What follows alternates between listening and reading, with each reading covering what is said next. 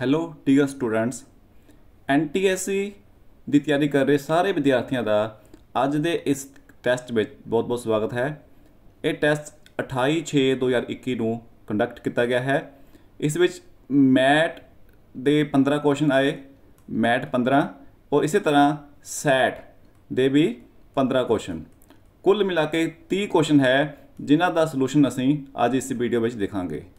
ਇਹ ਵੀਡੀਓ ਐਨਟੀਐਸਸੀ ਦਾ ਐਗਜ਼ਾਮ ਲਈ ਤਿਆਰੀ ਕਰ ਰਹੇ 10th ਕਲਾਸ ਦੇ ਵਿਦਿਆਰਥੀਆਂ ਲਈ ਬਹੁਤ ਜ਼ਰੂਰੀ ਹੈ, ਪਰ ਨਾਲ ਦੀ ਨਾਲ 8th ਕਲਾਸ ਦੇ ਵਿਦਿਆਰਥੀ ਜਿਹੜੇ ਐਨਐਮਐਮਐਸ ਦੀ ਤਿਆਰੀ ਕਰ ਰਹੇ ਹੈ, ਉਹਨਾਂ ਲਈ ਵੀ ਉਨੀ ਹੀ ਜ਼ਰੂਰੀ ਹੈ। ਇਸ ਵੀਡੀਓ ਨੂੰ ਦੇਖ ਕੇ ਉਹਨਾਂ ਨੂੰ ਵੀ ਮੈਟ ਵਿੱਚ ਆਏ ਕੁਐਸਚਨਸ ਦਾ ਪੈਟਰਨ ਸਮਝ ਲੱਗ ਜਾਏਗਾ ਔਰ ਪਤਾ ਲੱਗ ਜਾਏਗਾ ਵੀ ਇਹਨਾਂ ਦਾ ਡਿਫਿਕਲਟੀ ਲੈਵਲ ਕੀ ਹੈ। ਤੋ ਆਓ ਸਟਾਰਟ ਕਰਦੇ ਹਾਂ। ਅੱਜ ਦਾ ਫਸਟ ਕੁਐਸਚਨ ਜਿਹੜਾ ਕਿ ਤੁਹਾਨੂੰ ਨਜ਼ਰ ਆ ਰਿਹਾ ਹੈ, ਜਿਸ ਵਿੱਚ ਲਿਖਿਆ ਹੋਇਆ ਹੈ in the following, select the related word from the given option. ਯਾਨੀ ਕਿ ਇਹ ਆਪਸ਼ਨਾਂ ਵਿੱਚੋਂ ਅਸੀਂ ਦੇਖਣਾ ਹੈ ਲੰਗਸ ਯਾਨੀ ਕਿ ਫੇਫੜੇ ਫੇਫੜੇ ਨਾਲ ਆਇਆ ਹੈ 에ਅਰ ਤੋ ਹਾਰਟ ਦੇ ਨਾਲ ਕੀ ਆਏਗਾ?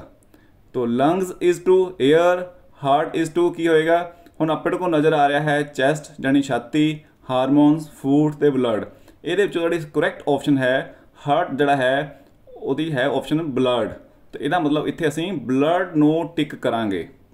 ਰਾਈਟ ਆਪਸ਼ਨ ਹੈ ਆਪਣੇ ਕੋਲ ਬਲੱਡ ਸੈਕਿੰਡ ਕੁਐਸਚਨ ਜਿਹੜਾ ਹੈ ਆਪਣੇ ਕੋਲ ਨਜ਼ਰ ਆ ਰਿਹਾ ਹੈ। ਇਹਦੇ ਵਿੱਚ ਵੀ ਕੁਝ ਇਸੇ ਤਰ੍ਹਾਂ ਦਾ ਹੈ। ਕੁਐਸਚਨ ਵਿੱਚ ਆਪਾਂ ਨੂੰ ਵਿਕਲਪ ਦਿੱਤੇ ਹੋਏ ਹੈ। ਬੋਟ ਯਾਨੀ ਕਿਸ਼ਤੀ ਨਾਲ ਦਿੱਤਾ ਹੈ ਔਰ ਚੱਪੂ। ਸਾਈਕਲ ਦੇ ਨਾਲ ਕੀ ਆਏਗਾ? ਤਾਂ ਆਪਸ਼ਨ ਆਪਣੇ ਕੋਲ ਹੈ ਪਹੀਆ, ਪੈਡਲ, ਸੀਟ, ਸੜਕ। ਤੋਂ ਕਿਉਂਕਿ ਬੋਟ ਨੂੰ ਬੋਟ ਜਿਹੜੇ ਹੈ, ਚੱਪੂ ਨਾਲ ਚੱਲਦੀ ਹੈ। ਜਿਹੜਾ ਸਾਈਕਲ ਹੈ, ਉਹ ਪੈਡਲ ਮਾਰਨ ਨਾਲ ਚੱਲੇਗਾ। ਜਿਸ ਤਰ੍ਹਾਂ ਬੋਟ ਚੱਪੂ ਚਲਾਉਣ ਦੇ ਨਾਲ ਚੱਲਦੀ ਹੈ, ਸਾਈਕਲ ਕਿੱਦਾਂ ਚੱਲਦਾ ਹੈ? ਪੈਡਲ ਮਾਰਨ ਦੇ ਨਾਲ। ਤੋਂ ਇਹਦੀ ਸਹੀ ਆਪਸ਼ਨ ਜਿਹੜੀ ਹੈ, ਉਹ ਹੈ ਪੈਡਲ। ਠੀਕ ਹੈ? ਤੋਂ ਪੈਡਲ ਨੂੰ ਅਸੀਂ ਇੱਥੇ ਟਿਕ ਕਰਾਂਗੇ। ਤੋਂ ਉਮੀਦ ਆ ਕਿ ਸਾਰਿਆਂ ਨੂੰ ਸਮਝ ਲੱਗ ਗਿਆ ਹੋਵੇਗਾ। ਨੈਕਸਟ ਆਪਣੇ ਕੋਲ ਥਰਡ ਕੁਐਸਚਨ ਆ ਗਿਆ, ਜਿਹਦੇ ਵਿੱਚ ਆਪਾਂ ਇਸ ਮਿਸਿੰਗ ਫਿਗਰ ਨੂੰ ਅਸੀਂ ਫਾਈਂਡ ਆਊਟ ਕਰਨਾ ਹੈ। ਉੱਪਰ ਆਪਾਂ ਨੂੰ ਪ੍ਰੋਬਲਮ ਫਿਗਰ ਦਿੱਤਾ ਹੋਇਆ ਹੈ। ਉਹ ਨੀਚੇ ਆਪਣੇ ਕੋ ਆਨਸਰ ਫਿਗਰ ਦਿੱਤਾ ਹੋਇਆ ਹੈ। ਤੋਂ ਇਹਦੇ ਵਿੱਚ ਇਹ ਕੁਐਸਚਨ ਮਾਰਕ ਦੀ ਜਗ੍ਹਾ ਤੇ ਆਪਾਂ ਇਹਨਾਂ ਚਾਰਾਂ ਆਪਸ਼ਨ ਵਿੱਚੋਂ option number A, B, C ਜਾਂ D ਵਿੱਚੋਂ ਜਿਹੜੀ ਕਰੈਕਟ ਆਪਸ਼ਨ ਹੈ, ਉਹ ਅਸੀਂ ਸਿਲੈਕਟ ਕਰਨੀ ਹੈ। ਤੋਂ ਜਦੋਂ ਅਸੀਂ ਧਿਆਨ ਨਾਲ ਪਿਕਚਰਸ ਨੂੰ ਦੇਖਦੇ ਹਾਂ, ਤਾਂ ਫਰਸਟ ਟੂ ਪਿਕਚਰਸ ਦੇ ਵਿੱਚ ਜਿਹੜਾ ਰਿਲੇਸ਼ਨ ਹੈ, ਉਹੀ ਨੈਕਸਟ ਟੂ ਪਿਕਚਰ ਦੇ ਵਿੱਚ ਹੋਏਗਾ। ਹੁਣ ਇਹਦੇ ਵਿੱਚ ਰਿਲੇਸ਼ਨ ਕੀ ਹੈ? ਦੇਖੋ, ਆਪਾਂ ਨੂੰ 3 ਬਲੈਕ ਡਾਟਸ ਨਜ਼ਰ ਆ ਰਹੇ ਆ, ਠੀਕ ਹੈ? ਉਹ ਤਿੰਨ ਆਪਣੇ ਕੋਲ ਲਾਈਨਸ ਹੈ, ਜਿਹੜੀਆਂ ਤਿੰਨੇ ਇੱਕੋ ਪੁਆਇੰਟ ਤੇ ਮੀਟ ਕਰ ਰਹੀਆਂ। ਤਾਂ ਸੈਕੰਡ ਆਪਸ਼ਨ ਕੀ ਹੋ ਗਿਆ? ਜਿਹੜੇ ਪੁਆਇੰਟਸ ਆ, ਉਹ ਉਸੇ ਤਰ੍ਹਾਂ ਉੱਥੇ ਉੱਥੇ ਰਹਿ ਗਏ, ਲੇਕਿਨ ਜਿਹੜੀ ਲਾਈਨਸ ਹੈ, ਉਹਨਾਂ ਦੀ ਜਿਹੜੀ ਇਮੇਜ ਹੈ, ਉਹ ਮਿਰਰ ਇਮੇਜ ਆ ਗਈ, ਯਾਨੀ ਕਿ ਉਹ ਆਪੋਜ਼ਿਟ ਡਾਇਰੈਕਸ਼ਨ ਵਿੱਚ ਚਲੇ ਗਏ। ਹੁਣ ਇਹੀ ਇੱਥੇ ਕਰਾਂਗੇ, ਠੀਕ ਹੈ? ਦੋ ਡੋਟਸ ਜਿਹੜੇ ਹੈ, ਉਹ ਆਪਣੀ ਪੋਜੀਸ਼ਨ ਤੇ ਹੀ ਰਹਿਣਗੇ, ਇਸੇ ਤਰ੍ਹਾਂ। ਲੇਕਿਨ ਜਿਹੜੀ ਇਹ ਦੋ ਲਾਈਨਸ ਸੀ, ਠੀਕ ਹੈ? ਇਹ ਲਾਈਨਸ ਆਪਣੀ ਜਗ੍ਹਾ ਤੋਂ ਉਲਟ ਹੋ ਜਾਣਗੀਆਂ, ਉਲਟ ਡਾਇਰੈਕਸ਼ਨ ਦੇ ਵਿੱਚ। तो इस तरह का फिगर बनेगा अपने को और इस तरह का फिगर अपन कितने नजर आ रहा है ऑप्शन नंबर सी दे विच तो यदा मतलब ऑप्शन नंबर सी जोड़ा है अपना करैक्ट जवाब है इसमें असी टिक करा इस तरह क्वेश्चन नंबर फोर ये भी अपन एक प्रॉब्लम फिगर दिता हुआ है एक आंसर फिगर दिता हुआ है तो प्रॉब्लम फिगर के असी पहला सब तो पहला पैटर्न देखना है कि पहले दो जो डायग्राम है इन्होंने पैटर्न की है ਉਸੇ ਪੈਟਰਨ ਨੂੰ ਅਸੀਂ ਅੱਗੇ ਜਾ ਕੇ ਰਿਪੀਟ ਕਰਾਂਗੇ। ਤੋਂ ਸਰਕਲ ਨਜ਼ਰ ਆ ਰਿਹਾ ਹੈ ਆਪਾਂ ਨੂੰ ਇੱਥੇ। ਤੋਂ ਇਹਦੇ ਵਿੱਚ ਸਰਕਲ ਦੇ ਵਿੱਚ ਉਸਨੇ ਲਾਈਨਸ ਲਗਾਤੀਆਂ। ਹੁਣ ਕਾਊਂਟ ਕਰੋ ਕਿੰਨੀਆਂ ਲਾਈਨਸ ਹੈ। ਇੱਕ ਪਹਿਲਾਂ ਸਿੱਧੀ ਹੈ ਵਰਟੀਕਲ ਥੱਲੇ ਨੂੰ ਹੈ ਹੋਰੀਜ਼ੋਨਟਲ ਦੋ ਲਾਈਨਸ ਹੋ ਗਈਆਂ ਔਰ ਉਸ ਤੋਂ ਇਲਾਵਾ ਦੋ ਲਾਈਨਸ ਉਸਨੇ ਡਾਇਗਨਲ ਸਾਈਡ ਨੂੰ ਲਗਾਤੀਆਂ। ਤੋਂ ਇਹੀ ਚੀਜ਼ ਆਪਾਂ ਇੱਥੇ ਕਰਾਂਗੇ। ਜਦੋਂ ਸਾਡੇ ਕੋਲ ਇੱਕ ਚਿੱਤਰ ਦਿੱਤਾ ਹੋਇਆ ਹੈ, ਇੱਕ ਲਾਈਨ ਸਿੱਧੀ ਥੱਲੇ ਨੂੰ ਆਏਗੀ, ਇੱਕ ਇਸ ਸਾਈਡ ਨੂੰ ਆ ਜਾਏਗੀ ਹੋਰੀਜ਼ੋਨਟਲ ਉਹ ਦੋ ਲਾਈਨ ਆਪਾਂ ਨੂੰ ਆਪਣੇ ਕੋ ਇਸ ਸਾਈਡ ਨੂੰ ਆ ਜਾਣਗੀਆਂ। ਸੇਮ ਉਸੇ ਪੈਟਰਨ 'ਚ। ਕਿ ਹੈ ਇਸ ਤਰ੍ਹਾਂ ਦਾ ਚਿੱਤਰ ਬਣੇਗਾ ਜਿਹੜਾ ਆਪਣੇ ਕੋ ਇਸ ਜਗ੍ਹਾ ਤੇ ਆਣਾ ਹੈ। ਤਾਂ ਇਹ ਕਿੱਥੇ ਨਜ਼ਰ ਆ ਰਿਹਾ ਹੈ? ਆਪਾਂ ਨੂੰ ਫਰਸਟ ਫਿਗਰ ਵਿੱਚ ਨਜ਼ਰ ਆ ਰਿਹਾ ਹੈ। ਤਾਂ ਇਹਦਾ ਮਤਲਬ ਆਪਸ਼ਨ ਨੰਬਰ A ਜਿਹੜਾ ਹੈ, ਆਪਣਾ ਕਰੈਕਟ ਜਵਾਬ ਹੈ। ਤਾਂ ਆਪਸ਼ਨ ਨੰਬਰ A ਨੂੰ ਅਸੀਂ ਟਿਕ ਕਰਾਂਗੇ ਔਰ ਕੁਐਸਚਨ ਨੰਬਰ 5 ਵੱਲ ਮੂਵ ਕਰਾਂਗੇ। ਤਾਂ ਕੁਐਸਚਨ ਨੰਬਰ 5 ਇਹਦੇ ਵਿੱਚ ਇੱਕ ਸੀਰੀਜ਼ ਨਜ਼ਰ ਆ ਰਹੀ ਹੈ।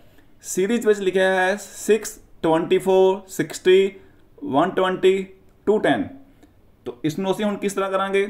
ਹੁਣ ਇਸ ਖਾਲੀ ਜਗ੍ਹਾ ਤੇ ਆਪਣੇ ਕੋਲ ਚਾਰ ਆਪਸ਼ਨ ਹੈਗੀਆਂ, ਚਾਰਾਂ ਚੋਂ ਕੋਈ ਇੱਕ ਆਪਸ਼ਨ ਭਰਨੀ ਹੈ। ਤੋਂ ਲੇਕਿਨ ਪਹਿਲਾਂ ਅਸੀਂ ਪੈਟਰਨ ਦੇਖਣਾ ਹੈ ਕਿ 6 ਤੋਂ ਬਾਅਦ 24 ਕਿਸ ਤਰ੍ਹਾਂ ਆਇਆ? 24 ਤੋਂ ਬਾਅਦ 60 ਕਿਸ ਤਰ੍ਹਾਂ ਆਇਆ? ਇਸੇ ਤਰ੍ਹਾਂ 120 ਤੋਂ ਬਾਅਦ 210 ਕਿਸ ਤਰ੍ਹਾਂ ਆਇਆ? ਔਰ ਉਸੇ ਪੈਟਰਨ 'ਚ ਇੱਥੇ ਸਾਡੇ ਕੋਲ ਨੈਕਸਟ ਜਿਹੜਾ ਨੰਬਰ ਹੈ, ਉਹ ਆ ਜਾਏਗਾ। ਹੁਣ ਤੁਸੀਂ ਅਗਰ ਧਿਆਨ ਨਾਲ ਦੇਖੋ, ਅਗਰ 1 ਮਲਟੀਪਲਾਈ ਬਾਈ 2 ਮਲਟੀਪਲਾਈ ਬਾਈ 3 ਕਰ ਦਈਏ 1 ਗੁਣਾ 2 ਗੁਣਾ 3 ਕਿੰਨਾ ਬਣਿਆ ਹੈ 2 ਇਕਮ 2 2 ਤੀਏ 6 ਤੋਂ 6 ਬਣ ਗਿਆ ਜਿਹੜਾ ਆਪਣਾ ਫਰਸਟ ਨੰਬਰ ਹੈ ਹੁਣ ਕੀ ਕਰਦਾ ਹੈ 1 ਦੀ ਜਗ੍ਹਾ 2 ਲਿਖ ਲਿਆ 2 ਦੀ ਜਗ੍ਹਾ 3 3 ਦੀ ਜਗ੍ਹਾ 4 तो ये बन गया दो तीये छः छः चौका चौबी तो अपने को 24 आ गया ਜਿਹੜਾ ਕਿ ਨੈਕਸਟ ਡਿਜਿਟ ਹੈ ਇਸੇ ਤਰ੍ਹਾਂ ਹੁਣ 2 ਦੀ ਜਗ੍ਹਾ 3 3 ਦੀ ਜਗ੍ਹਾ 4 4 ਦੀ ਜਗ੍ਹਾ 5 तो 3 4 5 ਆ ਗਿਆ ਆਪਣੇ ਕੋ ਹੁਣ 3 ਚੌਕੇ 12 12 5 60 तो ਆਪਾਂ ਨੂੰ ਹੁਣ ਪਤਾ ਲੱਗ ਗਿਆ ਪੈਟਰਨ ਠੀਕ ਹੈ ਕਿ ਇਸ ਪੈਟਰਨ 'ਚ ਇਹ ਨੰਬਰ ਵੱਧ ਰਹੇ ਆ ਇਸੇ ਤਰ੍ਹਾਂ ਨੈਕਸਟ ਕੀ ਆ ਜਾਏਗਾ 4 5 और 6 ठीक है तो 4 5 20 20 ਛਿਕਾ 120 ਆਪਣਾ ਕੋਲ ਨੈਕਸਟ ਡਿਜਿਟ ਆ ਗਿਆ ਇਸੇ ਤਰ੍ਹਾਂ ਹੁਣ ਅਸੀਂ ਚੱਲਾਂਗੇ ਨੈਕਸਟ 5 ਗੁਣਾ 6 ਗੁਣਾ 7 तो ਇਹਦਾ ਜਵਾਬ ਆਪਣੇ ਕੋਲ 210 ਆ ਜਾਏਗਾ ਨੈਕਸਟ ਹੈ ਆਪਣੇ ਕੋਲ 6 ਗੁਣਾ 7 ਗੁਣਾ 8 तो ਇਸ ਨੂੰ ਸੋਲਵ ਕਰੀਏ। 7 8 7 ਛੇ ਕਿੰਨਾ ਹੁੰਦਾ ਹੈ? 42 ਹੁਣ 42 ਨੂੰ ਅਸੀਂ 8 ਨਾਲ ਗੁਣਾ ਕਰਨਾ ਹੈ। 8 ਦੁਣੀ 16 ਇੱਕ ਬਚਿਆ। ਔਰ 8 ਚੌਕਾ 32 ਔਰ ਇੱਕ 33 ਇਹ ਆ ਗਿਆ ਆਪਣੇ ਕੋਲ 336 ਯਾਨੀ ਕਿ ਫਰਸਟ ਆਪਸ਼ਨ 336 ਆਪਣਾ ਜਵਾਬ ਆ ਗਿਆ। ਤਾਂ ਅਸੀਂ ਇਸ ਨੂੰ ਟਿਕ ਕਰਾਂਗੇ। ਤਾਂ ਪੈਟਰਨ ਆਪਾਂ ਨੂੰ ਇੱਥੇ ਸਮਝ ਲੱਗ ਗਿਆ ਸੀ। ਤਾਂ ਅਸੀਂ ਇੱਥੇ ਇਸ ਨੂੰ ਟਿਕ ਕਰਾਂਗੇ, ਜੋ ਕਿ ਸਾਡਾ ਰਾਈਟ ਆਪਸ਼ਨ ਹੈ। ਫਿਰ ਨੈਕਸਟ ਆਪਣੇ ਕੋਲ ਕੁਐਸਚਨ ਨੰਬਰ 6 ਆ ਗਿਆ। ਸੇਮ ਉਸੇ ਪੈਟਰਨ ਤੇ ਸਾਨੂੰ ਇੱਕ ਸੀਰੀਜ਼ ਦਿੱਤੀ ਗਈ ਹੈ, ਜਿਸ ਵਿੱਚ ਇੱਕ ਮਿਸਿੰਗ ਨੰਬਰ ਹੈ ਜਿਸ ਨੂੰ ਅਸੀਂ ਫਾਈਂਡ ਆਊਟ ਕਰਨਾ ਹੈ। ਤਾਂ ਸੀਰੀਜ਼ ਹੈ 34 18 10 6 ਫਿਰ 4 ਆ ਗਿਆ, ਔਰ ਫਿਰ ਕੁਐਸਚਨ ਮਾਰਕ ਹੁਣ ਜੇ ਸੀਰੀਜ਼ ਨੂੰ ਧਿਆਨ ਨਾਲ ਦੇਖੀਏ, ਇਹ ਡਿਕਰੀਜ਼ਿੰਗ ਆਰਡਰ ਵਿੱਚ ਹੈ ਡਿਕਰੀਜ਼ ਕਰਨੀ ਘਟ ਰਹੀ ਹੈ। ਤੋਂ ਹੁਣ 34 ਤੋਂ ਬਾਅਦ 18 ਕਿਸ ਤਰ੍ਹਾਂ ਆਇਆ, ਇਹ ਦੇਖਣਾ ਹੈ। ਔਰ 18 ਤੋਂ ਬਾਅਦ 10 ਕਿਸ ਤਰ੍ਹਾਂ ਆਇਆ। ਹੁਣ ਜੇਕਰ ਧਿਆਨ ਨਾਲ ਦੇਖੀਏ ਤਾਂ ਸਾਨੂੰ ਪਤਾ ਲੱਗ ਰਿਹਾ ਹੈ 34 ਨੂੰ ਅਗਰ ਅਸੀਂ ਹਾਫ ਕਰ ਦਈਏ 34 ਦਾ ਅੱਧ ਕਿੰਨਾ ਹੁੰਦਾ ਹੈ? 34 ਦਾ ਅੱਧ ਹੁੰਦਾ ਹੈ 17 ਹੁਣ 17 ਦੇ ਵਿੱਚ ਅਗਰ ਇੱਕ ਜੋੜ ਦਈਏ, ਸਾਡੇ ਕੋਲ ਆ ਜਾਏਗਾ 18 ਜਿਹੜਾ ਕਿ ਨੈਕਸਟ ਡਿਜਿਟ ਨਜ਼ਰ ਆ ਰਿਹਾ ਹੈ। ਹੁਣ ਸਾਨੂੰ 18 ਪ੍ਰਾਪਤ ਹੋ ਗਏ ਹੈ, ਹੁਣ 18 ਨੂੰ ਵੀ ਹਾਫ ਕਰ ਦਈਏ। 18 ਦਾ ਅੱਧ ਕਿੰਨਾ ਹੁੰਦਾ ਹੈ? 9 9 ਦੇ ਵਿੱਚ ਵੀ ਇੱਕ ਜੋੜ ਦਈਏ। ਸਾਡੇ ਕੋਲ ਆ ਜਾਏਗਾ 10 ਜਿਹੜਾ ਕਿ ਨੈਕਸਟ ਡਿਜਿਟ ਹੈ। ਇਹਦਾ ਮਤਲਬ ਅਸੀਂ ਕੀ ਕਰਦੇ ਪਏ ਆ ਅਸੀਂ ਪਹਿਲਾਂ ਡਿਜਿਟ ਨੂੰ ਹਾਫ ਕਰਦੇ ਪਏ ਆ ਹਾਫ ਕਰਨ ਤੋਂ ਬਾਅਦ ਉਹਦੇ 'ਚ ਅਸੀਂ ਇੱਕ ਜੋੜ ਰਹੇ ਆ ਤਾਂ ਇੱਥੇ ਆ ਗਿਆ ਆਪਣੇ ਕੋਲ 6 6 ਆਪਣਾ ਨੈਕਸਟ ਡਿਜਿਟ ਆ ਗਿਆ। ਇਸੇ ਤਰ੍ਹਾਂ 6 ਦਾ ਹਾਫ ਕਰਾਂਗੇ, ਸਾਨੂੰ ਮਿਲ ਗਿਆ 3 3 'ਚ ਇੱਕ ਜੋੜਿਆ ਤਾਂ ਬਣ ਗਿਆ 4 ਹੁਣ ਲਾਸਟ ਰਹਿ ਗਿਆ ਆਪਣੇ ਕੋਲ 4 ਦਾ ਹਾਫ ਕਰਨਾ ਹੈ। 4 ਦਾ ਹਾਫ ਕੀਤਾ ਸਾਡੇ ਕੋਲ ਬਚਿਆ 2 2 ਚ ਅਗਰ ਇੱਕ ਜੋੜ ਦਈਏ ਤਾਂ ਬਣ ਗਿਆ 3 ਤਾਂ ਇਹਦਾ ਮਤਲਬ ਫਰਸਟ ਆਪਸ਼ਨ ਜਿਹੜਾ ਸੀ, ਉਹ ਹੈ ਕਰੈਕਟ ਆਪਸ਼ਨ ਆਪਣਾ ਹੈ 3 3 ਜਵਾਬ ਹੈ। ਤਾਂ 3 ਨੂੰ ਟਿਕ ਕਰਕੇ ਕੁਐਸਚਨ ਨੰਬਰ 7 ਵੱਲ ਚੱਲਦੇ ਹਾਂ। ਹੁਣ 7 ਵਿੱਚ ਵੀ ਇੱਕ ਸੀਰੀਜ਼ ਦਾ ਕੁਐਸਚਨ ਹੈ, ਜਿਹਦੇ ਵਿੱਚ ਆਪਾਂ ਨੂੰ ਅਲਫਾਬੈਟਸ ਦਿੱਤੇ ਗਏ ਆ, ਠੀਕ ਹੈ? ਤਾਂ ਇਹ ਅਲਫਾਬੈਟਸ ਦਾ ਪੈਟਰਨ ਕੀ ਹੈ? ਉਹ ਪੈਟਰਨ ਦੇਖਣਾ ਹੈ। ਉਸ ਪੈਟਰਨ ਨੂੰ ਦੇਖਣ ਤੋਂ ਬਾਅਦ ਫਿਰ ਅਸੀਂ ਇਹ ਲਾ ਫਾਈਂਡ ਆਊਟ ਕਰਨਾ ਹੈ। ਤਾਂ ਜੇਕਰ ਧਿਆਨ ਨਾਲ ਦੇਖੀਏ, ਸਭ ਤੋਂ ਪਹਿਲਾਂ ਲਿਖਿਆ ਹੈ ਬੀ ਬੀ ਤੋਂ ਬਾਅਦ ਸੀ ਜਿਹੜਾ ਹੈ, ਉਹ ਮਿਸਿੰਗ ਹੈ। ਸੀ ਤੋਂ ਬਾਅਦ ਡੀ ਆ ਗਿਆ। ਬੀ ਔਰ ਡੀ ਵਿੱਚ ਸੀ ਛੱਡਿਆ ਹੈ। ਹੁਣ ਡੀ ਤੋਂ ਬਾਅਦ ਕੀ ਆਉਂਦਾ ਹੈ? ਈ F ਯਾਨੀ ਕਿ ਦੋ ਛੱਡੇ ਆ।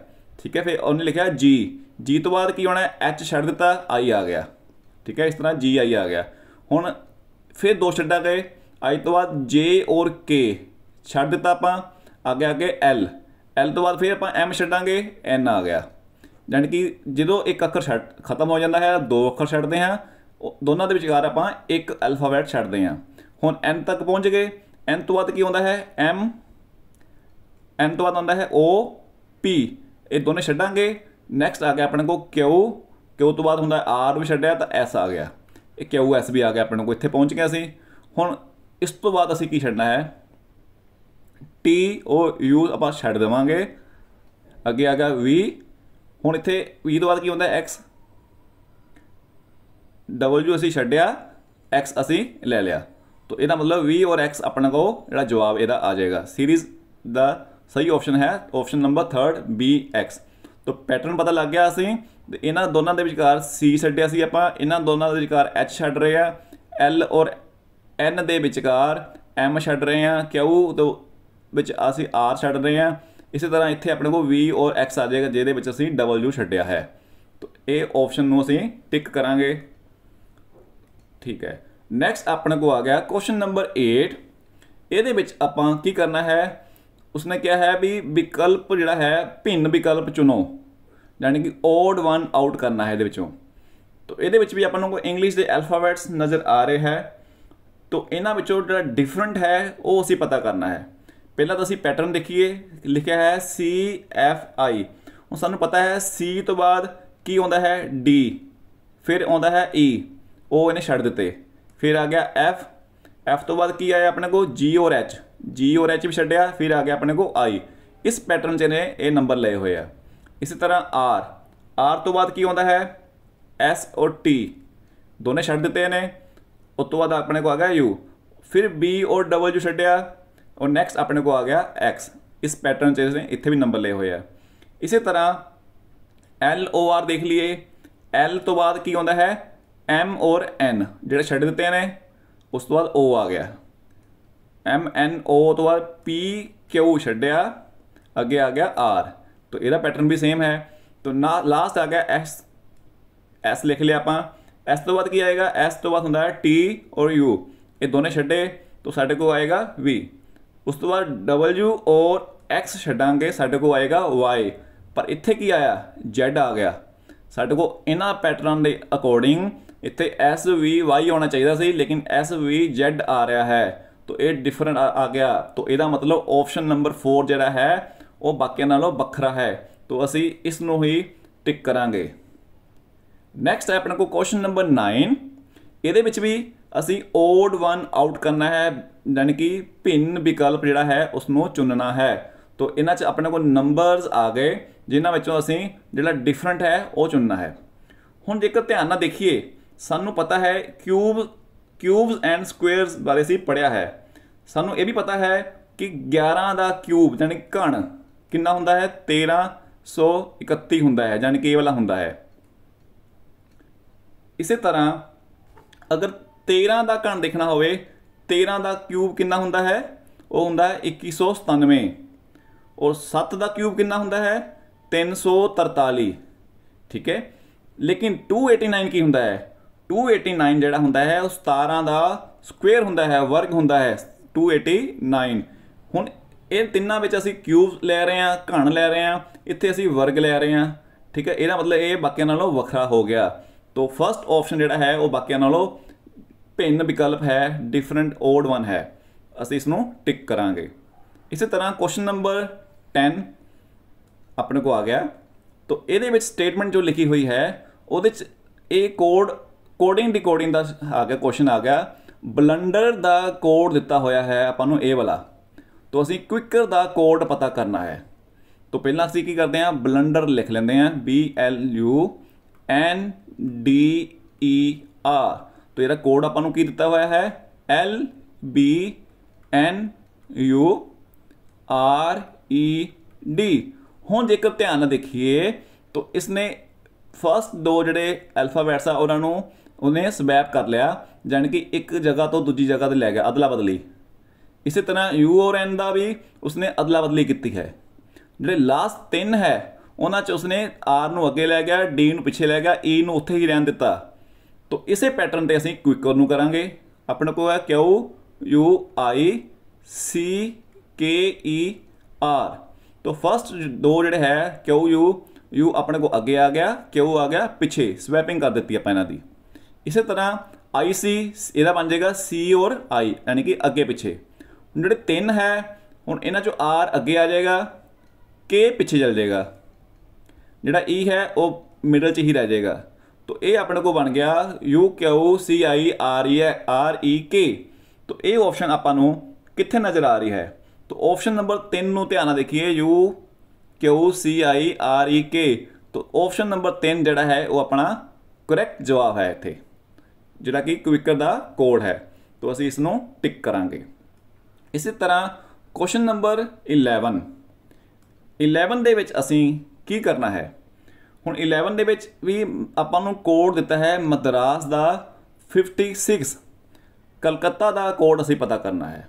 ਤੋਂ ਇੱਥੇ ਆਪਾਂ ਨੂੰ ਪਤਾ ਲੱਗ ਗਿਆ ਵੀ ਇੰਗਲਿਸ਼ ਦੀ ਕੋਡਿੰਗ ਲਈ ਹੋਈ ਹੈ। ਤੋਂ ਪਹਿਲਾਂ ਫਟਾਫਟ ਆਪਾਂ ਕੀ ਕਰਨਾ ਹੈ? ਇੱਥੇ A, B, C ਲਿਖ ਲੈਂਦੇ ਆ ਠੀਕ ਹੈ? A, B, C, D E F, G, H, I, J, K, L, M, N O P Q R S T U ਅਸੀਂ U ਤੱਕ ਲੈ ਲਿਆ, ਅੱਗੇ ਆਪਾਂ ਨੂੰ ਲੋੜ ਨਹੀਂ ਪੈਣੀ, ਤਾਂ ਇਹਨਾਂ ਦੀ ਆਪਾਂ ਕੋਡਿੰਗ ਕੀ ਲੈਣੀ ਹੈ? 1 2 3 4 5 6 7 8 9 10 11 12 13 14 ਅੱਗੇ ਆ ਗਿਆ 15 16 17 18 19 20 ਔਰ 21 ਇਹ ਅਸੀਂ ਕੋਡਿੰਗ ਲੈ ਲਈ ਇੰਗਲਿਸ਼ ਦੇ ਅਲਫਾਬੈਟਸ ਦੀ ਨੰਬਰਸ ਦੇ ਨਾਲ। ਹੁਣ ਆਪਾਂ ਦੇਖੀਏ, ਇੱਥੇ ਲਿਖਿਆ ਹੈ Madras. M A D R A S तो M ਦਾ ਕੋਡ ਕੀ ਹੈ ਆਪਣੇ ਕੋ M ਦਾ ਕੋਡ ਹੈ 13 13 ਹੈ। तो M ਦੀ ਜਗ੍ਹਾ ਅਸੀਂ 13 ਲਿਖ ਲਿਆ। ਇਸੇ ਤਰ੍ਹਾਂ A ਦਾ ਕੋਡ ਹੈ ਆਪਣੇ ਕੋ 1 D ਦਾ ਕੋਡ ਹੈ ਆਪਣੇ ਕੋ 4 R ਦਾ ਕੋਡ ਕਿੰਨਾ ਆ ਗਿਆ ਕਿ R ਹੈ ਆਪਣੇ ਕੋ 18 ਅੱਗੇ ਫਿਰ A ਆ ਗਿਆ। A ਸਾਨੂੰ ਪਤਾ ਹੈ 1 ਹੈ। ਨੈਕਸਟ ਹੈ ਐਸ ਐਸ ਦਾ ਕੋਡ ਹੈ ਆਪਣੇ ਕੋਲ 19 ਤੋਂ ਅਸੀਂ ਇਹਨਾਂ ਦਾ ਜੋੜ ਕਰ ਲੈਂਦੇ ਆ ਐਡ ਕਰ ਲੈਂਦੇ ਆ ਸਾਨੂੰ ਪਤਾ ਹੈ 13 1 14 14 ਚ 4 ਜੋੜੇ 18 18 18 ਕਿੰਨੇ ਹੁੰਦੇ ਆ? 36 36 ਹੋ ਗਏ। 36 ਇਹ ਲੱਗਾ ਹੈ ਕਿ 19 ਤੇ 1 20 36 ਔਰ 20 ਕਿੰਨੇ ਹੋ ਗਏ ਆਪਣੇ ਕੋਲ? 56 ਤੋਂ ਇਹ 56 ਬਣ ਗਿਆ। ਤੋਂ 56 ਕੋਡ ਆਪਾਂ ਨੂੰ ਦਿੱਤਾ ਹੋਇਆ ਸੀ।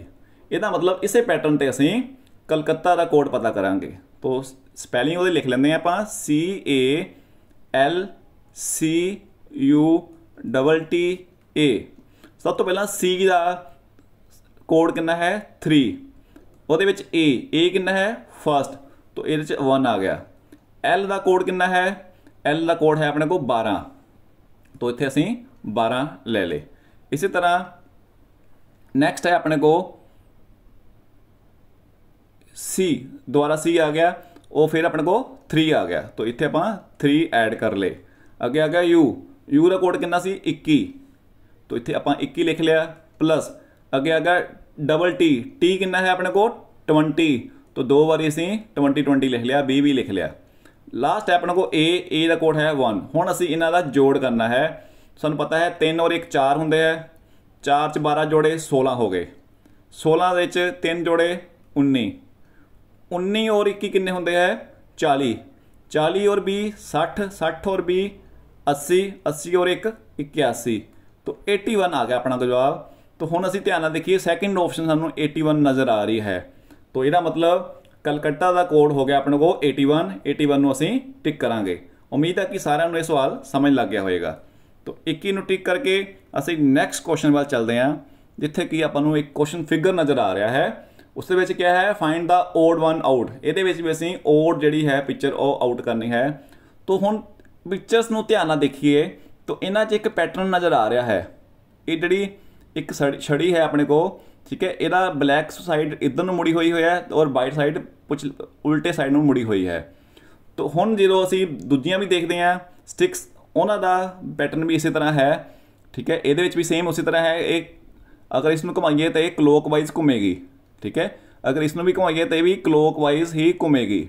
ਇਸੇ ਤਰ੍ਹਾਂ ਚੌਥੀ ਦੇਖੀਏ, ਇਹ ਵੀ ਘੁਮਾਈਏ ਤਾਂ ਆਪਾਂ ਇਧਰ ਨੂੰ ਘੁੰਮੇਗੀ ਕਲੋਕ ਵਾਈਜ਼ ਲੇਕਿਨ ਜਿਹੜੀ ਸੀ ਆਪਸ਼ਨ ਹੈ, ਇਹਦਾ ਕੁੰਡੀ ਜਿਹੜੀ ਬਲੈਕ ਡੋਟ ਹੈ ਉਲਟੇ ਪਾਸੇ ਹੈ। ਇਹਨੇ ਇਧਰ ਨੂੰ ਘੁੰਮਣਾ ਹੈ, ਯਾਨੀ ਕਿ ਇਹ ਐਂਟੀ ਕਲੋਕ ਵਾਈਜ਼ ਘੁੰਮੇਗੀ। ਤਾਂ ਇਹਦਾ ਮਤਲਬ ਆਪਸ਼ਨ ਨੰਬਰ ਸੀ ਜਿਹੜਾ ਹੈ, ਬਾਕੀਆਂ ਨਾਲੋਂ ਵੱਖਰੀ ਹੈ। ਤਾਂ ਸੀ ਆਪਸ਼ਨ ਨੂੰ ਅਸੀਂ ਇੱਥੇ ਟਿਕ ਕਰਨਾ ਹੈ। ਨੈਕਸਟ ਆਪਣੇ ਕੋ ਆ ਗਿਆ ਕੁਐਸਚਨ ਨੰਬਰ 13 ਇਹਦੇ ਵਿੱਚ ਵੀ ਆਪਾਂ ਦੇਖਣਾ ਹੈ ਕਿ ਜਿਹੜਾ ਓਡ 1 ਹੈ, ਉਹ ਆਊਟ ਕਰਨਾ ਹੈ। ਠੀਕ ਹੈ? ਯਾਨੀ ਕਿ ਭਿੰਨ ਚਿੱਤਰ ਲੱਭਣਾ ਹੈ। ਜਦੋਂ ਅਸੀਂ ਚਿੱਤਰਾਂ ਦੇ ਪੈਟਰਨ ਨੂੰ ਦੇਖਦੇ ਹਾਂ, ਤਾਂ ਫਸਟ ਸਾਨੂੰ ਨਜ਼ਰ ਆ ਰਿਹਾ ਹੈ ਕਿ ਇਹ ਇੱਕ ਕਿੰਨੇ ਭੁਜ ਚਿੱਤਰ ਹੈ? ਆਪਾਂ ਨੂੰ 5 ਯਾਨੀ ਕਿ ਪੈਂਟਾਗਨ ਨਜ਼ਰ ਆ ਰਿਹਾ ਪੰਜ ਭੁਜ ਹੈ ਇਹ ਚ। ਠੀਕ ਹੈ? ਪੰਜ ਭੁਜਾਵਾਂ ਹੈ। ਔਰ ਇਹਦੇ ਅੰਦਰ ਕਿੰਨੀਆਂ ਹੈ? 1 2 3 4 5 6 ਯਾਨੀ ਕਿ ਬਾਹਰ ਪੰਜ ਭੁਜ ਹੈ ਔਰ ਇਹਦੇ ਅੰਦਰ ਕਿੰਨੀਆਂ ਹੈ? 6 ਭੁਜ ਹੈ ਇਹਦੇ ਅੰਦਰ। ਠੀਕ ਹੈ? ਇੱਧਰ ਦੇਖ ਲੈਂਦੇ ਆਪਾਂ, ਇੱਥੇ ਬਾਹਰ ਕਿੰਨੀਆਂ ਹੈ? 1 2 3 4 ਬਾਹਰ ਹੈ 4 ਔਰ ਅੰਦਰ ਕਿੰਨੀਆਂ ਹੈ? 3 4/3 ਹੋ ਗਿਆ ਹੈ। ਇਹਦੇ ਚ ਬਾਹਰ ਕਿੰਨੀਆਂ ਹੈ? 3 ਔਰ ਅੰਦਰ ਕਿੰਨੀਆਂ? 4 ਯਾਨੀ ਕਿ 3/4 ਹੋ ਗਿਆ। ਨੈਕਸਟ ਹੈ ਅਗਲਾ ਲਾਸਟ ਪਿਕਚਰ ਇਹਦੇ ਚ ਬਾਹਰ ਜਿਹੜੀ ਫਿਗਰ ਹੈ, ਉਹਦੇ ਚ ਕਿੰਨੇ, ਉਹ ਕਿੰਨੇ ਪੁੱਜ ਹੈ? 4 ਪੁੱਜ ਹੈ। ਅੰਦਰ ਕਿੰਨੀਆਂ ਹੈ? 1 2 3 4 5 ਜਾਣੀ ਕਿ ਆਪਾਂ ਦੇਖਿਆ ਵੀ ਅੰਦਰ ਜਿਹੜੀ ਹੈ, ਉਹਦੀ ਜਿਹੜੀ ਬਹੁਭੁਜ ਹੈ, ਉਹਦੀ ਗਿਣਤੀ ਇੱਕ ਵੱਧ ਹੈ। ਬਾਹਰ 5 ਅੰਦਰ 6 ਇੱਥੇ ਬਾਹਰ 4 ਅੰਦਰ 3 ਇੱਥੇ ਬਾਹਰ 3 ਅੰਦਰ 4 ਇੱਥੇ ਵੀ ਇੱਕ ਵਧੀ ਹੈ। ਸੈਕੰਡ ਫਿਗਰ ਦੇ ਵਿੱਚ ਘਟੀ ਹੈ ਅੰਦਰ। ਤੋਂ ਉਮੀਦ ਹੈ ਕਿ ਸਾਰਿਆਂ ਨੂੰ ਸਮਝ ਲੱਗ ਗਿਆ ਵੀ ਚਿੱਤਰ ਦੇ ਅੰਦਰ ਜਿਹੜੀ ਫੋਟੋ ਬਣੀ ਹੋਈ ਹੈ, ਉਹਦੇ 'ਚ ਜਿਹੜੀ ਬਹੁਭੁਜ ਹੈ, ਉਹਦਾ ਦੀ ਗਿਣਤੀ ਸਾਰਿਆਂ ਦੇ ਵਿੱਚ ਵੱਧ ਰਹੀ ਹੈ, ਲੇਕਿਨ ਇੱਥੇ ਘਟ ਰਹੀ ਹੈ। ਤੋਂ ਆਪਸ਼ਨ ਨੰਬਰ ਬੀ ਨੂੰ ਅਸੀਂ ਟਿਕ ਕਰਾਂਗੇ। ਇਹ ਸਾਡਾ ਰਾਈਟ ਆਨਸਰ ਹੈ। ਨੈਕਸਟ ਆਪਣੇ ਕੋਲ ਕੁਐਸਚਨ ਨੰਬਰ 14 ਇਹਦੇ ਵਿੱਚ ਇਹ ਡਾਇਰੈਕਸ਼ਨ ਦਾ ਕੁਐਸਚਨ ਆ ਗਿਆ ਆਪਣੇ ਕੋ ਤੋਂ ਇਹਦੇ ਵਿੱਚ ਅਸੀਂ ਦੇਖਾਂਗੇ ਕਿ ਲਿਖਿਆ ਹੈ ਇੰਗਲਿਸ਼ ਔਰ ਪੰਜਾਬੀ ਵਿੱਚ ਸਟੇਟਮੈਂਟ ਲਿਖੀ ਹੋਈ ਹੈ। ਤੋਂ ਸਭ ਤੋਂ ਪਹਿਲਾਂ ਸਾਨੂੰ ਪਤਾ ਹੋਣਾ ਚਾਹੀਦਾ ਹੈ ਡਾਇਰੈਕਸ਼ਨਸ ਕਿਹੜੀਆਂ ਹੁੰਦੀਆਂ ਹੈ।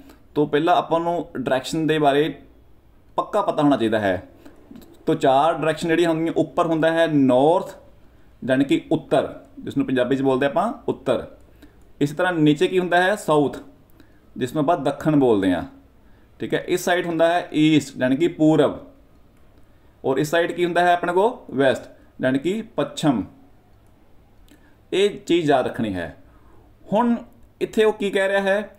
ਜੇਕਰ A, B ਦੇ ਦੱਖਣ ਵੱਲ ਹੈ, ਦੱਖਣ ਮਤਲਬ ਸਾਊਥ ਵੱਲ ਹੈ, ਤੋਂ ਪਹਿਲਾਂ ਅਸੀਂ ਇੱਕ ਪੁਆਇੰਟ ਲੈ ਲੈਂਦੇ ਹਾਂ। ਜਿਹੜਾ ਕਿ ਦੂਜੇ ਪੁਆਇੰਟ ਦੇ ਸਾਊਥ ਵੱਲ ਹੈ। ਤੋਂ, ਇੱਥੇ ਅਸੀਂ ਲੈ ਲਿਆ B ਤੋਂ ਇਹ ਜਿਹੜਾ ਬਿੰਦੂ ਹੈ, ਉਹ A ਇੱਥੇ ਲੈ ਲਿਆ, ਜਿਹੜਾ ਕਿ ਉਸ ਦੇ ਸਾਊਥ ਵੱਲ ਹੈ, ਇਸ ਸਾਈਡ ਨੂੰ ਹੈ। ਤੋਂ, ਅੱਗੇ ਕਹਿ ਰਿਹਾ ਹੈ, C, B ਦੇ ਪੂਰਬ ਵੱਲ ਹੈ। ਯਾਨੀ ਇੱਕ ਬਿੰਦੂ C ਹੋਰ ਹੈ, ਜਿਹੜਾ ਕਿ B ਤੋਂ ਪੂਰਬ ਵੱਲ ਹੈ ਈਸਟ ਵੱਲ ਹੈ ਈਸਟ ਇਧਰ ਨੂੰ ਹੋ ਗਿਆ ਉਤੋਂ, ਠੀਕ ਹੈ? ਤੋਂ, ਇੱਥੇ ਬਿੰਦੂ C ਹੋ ਗਿਆ। ਤੋਂ ਇਹ ਜਦੋਂ ਤਿੰਨ ਪੁਆਇੰਟ ਲੈ ਲਏ ਅਸੀਂ, ਫਿਰ ਕਹਿੰਦਾ C ਦੇ ਸਬੰਧ ਵਿੱਚ A ਕਿਸ ਦਿਸ਼ਾ ਵਿੱਚ ਹੈ? ਯਾਨੀ ਕਿ C ਤੋਂ ਜਿਹੜਾ A ਹੈ, ਉਹਦੀ ਡਾਇਰੈਕਸ਼ਨ ਕੀ ਹੈ? ਅਸੀਂ ਇਹ ਵਾਲੀ ਡਾਇਰੈਕਸ਼ਨ ਪਤਾ ਕਰਨੀ ਹੈ। ਠੀਕ ਹੈ? ਪਹਿਲਾਂ ਦੇਖ ਲਓ ਬਿੰਦੂ ਅਸੀਂ A ਲੈ ਲਿਆ। ਉੱਥੋਂ ਅਸੀਂ B ਵੱਲ, A ਵੱਲ ਨੂੰ ਗਏ, ਜਿਹੜਾ ਕਿ ਕਿੱਧਰ ਨੂੰ ਸੀ? ਸਾਊਥ ਵੱਲ ਨੂੰ ਸੀ। C ਬਿੰਦੂ ਹੈ ਪੂਰਬ ਵੱਲ। ਹੁਣ ਇੱਥੇ ਉਸ ਤੋਂ ਬਾਅਦ ਕਹਿ ਰਿਹਾ ਹੈ ਕਿ ਜਿਹੜਾ ਬਿੰਦੂ A ਹੈ, ਉਹ C ਤੋਂ ਕਿਹੜੀ ਡਾਇਰੈਕਸ਼ਨ ਵਿੱਚ ਹੈ? ਤੋਂ ਪੁੱਤਰ, ਅਸੀਂ ਧਿਆਨ ਨਾਲ ਦੇਖਣਾ ਹੈ, C ਜਿਹੜਾ ਹੈ ਹੁਣ ਅਸੀਂ ਇਹਨੂੰ ਸੈਂਟਰ ਮੰਨ ਲਿਆ। ਹੁਣ ਸਾਨੂੰ ਪਤਾ ਹੈ ਸੀ ਦੇ ਉੱਪਰ ਕੀ ਹੁੰਦਾ ਹੈ?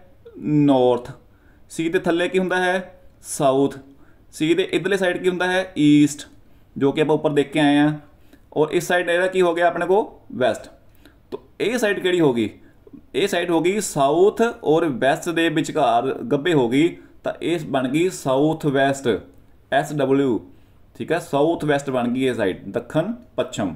ਤਾਂ ਇਹਦਾ ਮਤਲਬ ਚੌਥੀ ਆਪਸ਼ਨ ਜਿਹੜੀ ਹੈ, ਉਹ ਆਪਣਾ ਕਰੈਕਟ ਆਨਸਰ ਹੈ। ਤਾਂ ਫੋਰਥ ਆਪਸ਼ਨ ਨੂੰ ਅਸੀਂ ਟਿਕ ਕਰਾਂਗੇ।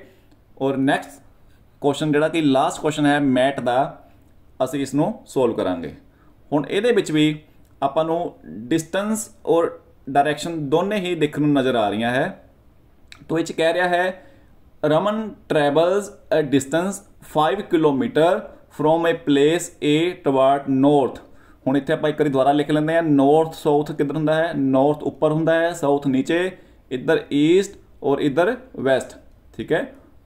ਤੋ ਹੁਣ ਉਹ ਕਹਿ ਰਿਹਾ ਹੈ, ਰਮਨ ਜਿਹੜਾ ਹੈ, ਉਸਨੇ ਡਿਸਟੈਂਸ ਟਰੈਵਲ ਕੀਤਾ। ਮੰਨ ਲਓ A ਏ ਪੁਆਇੰਟ ਤੇ ਖੜਾ ਹੈ। ਤੋ ਉਹ ਨਾਰਥ ਵੱਲ ਨੂੰ ਗਿਆ 5 ਕਿਲੋਮੀਟਰ। ਤੋਂ ਮੰਨ ਲਓ ਉੱਪਰ ਨੂੰ ਗਿਆ ਨਾਰਥ ਵੱਲ ਨੂੰ। ਕਿੰਨਾ? 5 ਕਿਲੋਮੀਟਰ ਚਲਾ ਗਿਆ। ਫਿਰ ਕਹਿੰਦਾ turns left and walks 3 kilometre. ਕਹਿੰਦਾ ਉਹ ਫਿਰ ਉਹ ਲੈਫਟ ਸਾਈਡ ਨੂੰ ਮੁੜ ਗਿਆ, ਖੱਬੇ ਪਾਸੇ ਨੂੰ ਮੁੜ ਗਿਆ। ਹੁਣ ਇਹਦੇ ਖੱਬੇ ਪਾਸੇ ਕਿੱਧਰ ਨੂੰ ਆ? ਖੱਬਾ ਪਾਸਾ ਜਾਨੀ ਕਿ ਲੈਫਟ ਸਾਈਡ ਉਹਦੀ ਇੱਧਰ ਨੂੰ ਹੋ ਗਈ। ਠੀਕ ਹੈ, ਇੱਧਰ ਨੂੰ ਮੁੜ ਕੇ ਉਹ 3 ਕਿਲੋਮੀਟਰ ਅੱਗੇ ਚੱਲਿਆ। ਠੀਕ ਹੈ, ਅਸੀਂ ਇੱਥੇ ਪਹੁੰਚ ਗਏ ਹੁਣ। ਪਹਿਲਾਂ ਉੱਪਰ ਗਏ, ਫਿਰ ਲੈਫਟ ਨੂੰ ਮੁੜ ਗਏ। ਫਿਰ ਕਹਿੰਦਾ again turns right and walks 2 kilometre. ਫਿਰ ਉਹ ਸੱਜੇ ਪਾਸੇ ਮੁੜਿਆ। ਤੇ 2 ਕਿਲੋਮੀਟਰ ਚੱਲਿਆ। ਦੁਆਰਾ ਉਹ ਸੱਜੇ ਪਾਸੇ ਮੁੜਿਆ 2 ਕਿਲੋਮੀਟਰ ਚੱਲਿਆ। ਤਾਂ 2 ਕਿਲੋਮੀਟਰ ਚੱਲ ਕੇ ਲਗਭਗ ਉਹ ਇੱਥੇ ਪਹੁੰਚ ਗਿਆ।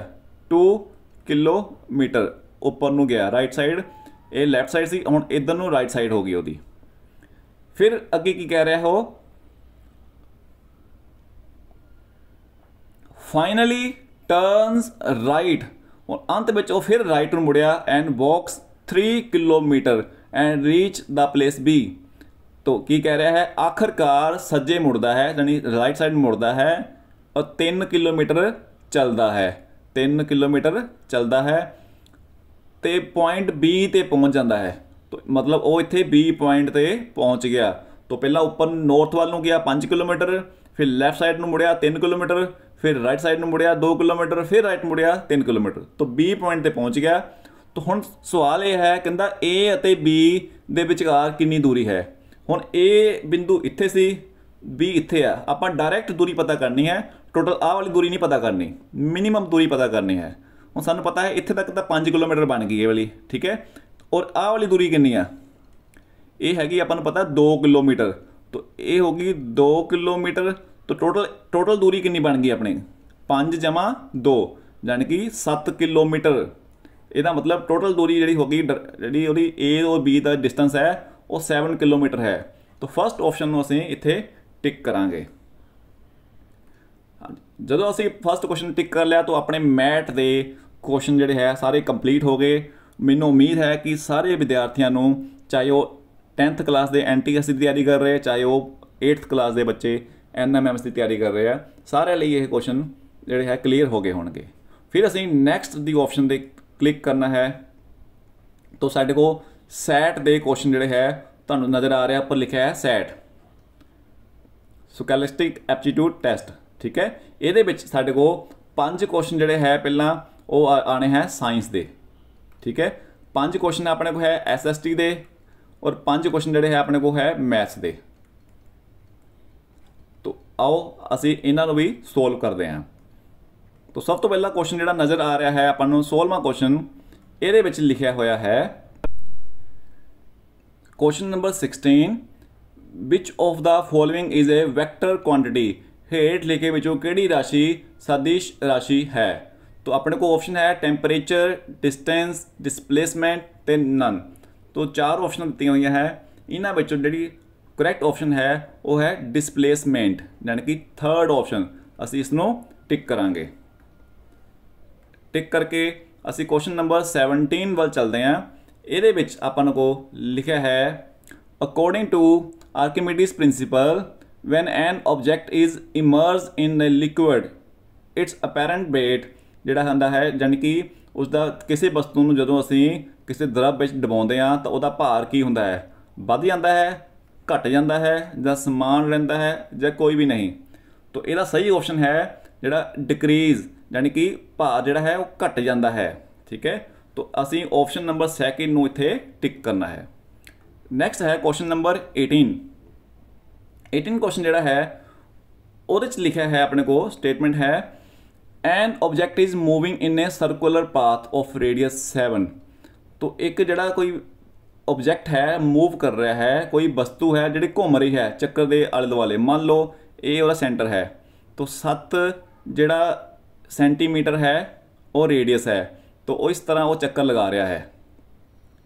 ਠੀਕ ਹੈ? ਤੋ ਸਰਕੂਲਰ ਮੋਸ਼ਨ ਇਹਨੂੰ ਸਰਕੂਲਰ ਮੋਸ਼ਨ ਕਹਿੰਦੇ ਆਪਾਂ, ਘੁੰਮ ਰਿਹਾ ਹੈ। ਠੀਕ ਹੈ? ਤੋ ਹੁਣ ਉਹ ਕਹਿ ਰਿਹਾ ਹੈ, what will be the displacement of object after it has covered 44 along its path? ਯਾਨੀ ਕਿ 44 ਸੈਂਟੀਮੀਟਰ ਦੂਰੀ ਤੈਅ ਕਰਨ ਤੋਂ ਬਾਅਦ ਉਸ ਦਾ ਵਿਸਥਾਪਨ ਕੀ ਹੋਵੇਗਾ? ਠੀਕ ਹੈ? ਉਹਦੀ ਡਿਸਪਲੇਸਮੈਂਟ ਕਿੰਨੀ ਹੋਏਗੀ? ਹੁਣ ਦੇਖੋ, ਪਹਿਲਾਂ ਤਾਂ ਅਸੀਂ ਇਹਦਾ ਕੀ ਕਰੀਏ? ਸਰਕਮਫਰੈਂਸ ਕਿਹੜਾ ਪਤਾ ਕਰੀਏ? ਸਰਕਮਫਰੈਂਸ ਕਿੰਨਾ ਹੁੰਦਾ ਹੈ? 2 ਪਾਈ r, ਠੀਕ ਹੈ? ਤੋਂ ਇਹ ਹੋ ਗਿਆ 2 ਮਲਟੀਪਲਾਈ ਬਾਈ ਪਾਈ ਪਾਈ ਦੀ ਵੈਲਿਊ ਕਿੰਨੀ ਹੁੰਦੀ ਹੈ? 22 ਬਟਾ 7 ਔਰ r ਦੀ ਵੈਲਿਊ ਕਿੰਨੀ ਹੁੰਦੀ ਹੈ? r ਦੀ ਵੈਲਿਊ ਆਪਾਂ ਨੂੰ ਦਿੱਤੀ ਹੋਈ ਹੈ 7 ਠੀਕ ਹੈ? ਯਾਨੀ ਕਿ ਰੇਡੀਅਸ 7 ਨਾਲ 7 ਕੱਟ ਗਿਆ। ਇਹਦਾ ਮਤਲਬ 22 ਦੁਣਾ 44 ਤਾਂ ਇਹਦਾ ਮਤਲਬ ਜਿਹੜਾ ਇਹਦਾ ਸਰਕਮਫਰੈਂਸ ਹੈ, ਉਹ 44 ਸੈਂਟੀਮੀਟਰ ਹੈ। ਹੁਣ ਮੰਨ ਲਓ ਇੱਕ ਬੰਦਾ ਜਾਂ ਵਸਤੂ A ਤੇ ਖੜੀ ਹੈ, ਉਹਨੇ ਘੁੰਮਣਾ ਸ਼ੁਰੂ ਕੀਤਾ, ਠੀਕ ਹੈ? ਤਾਂ ਉਹ 44 ਸੈਂਟੀਮੀਟਰ ਦੂਰੀ ਤੈਅ ਕੀਤੀ। 44 ਸੈਂਟੀਮੀਟਰ ਦੂਰੀ ਤੈਅ ਕਰਨ ਦਾ ਮਤਲਬ ਹੈ ਕਿ ਘੁੰਮ ਕੇ ਦੁਬਾਰਾ ਉਸੇ ਪੁਆਇੰਟ ਤੇ ਆ ਗਈ ਉਹ ਵਸਤੂ। ਤਾਂ ਜਦੋਂ ਵਸਤੂ ਆਪਣੀ ਪੋਜੀਸ਼ਨ ਤੇ ਵਾਪਸ ਆ ਗਈ, ਤਾਂ ਉਹਦੀ ਡਿਸਪਲੇਸਮੈਂਟ ਕਿੰਨੀ ਹੋਈ?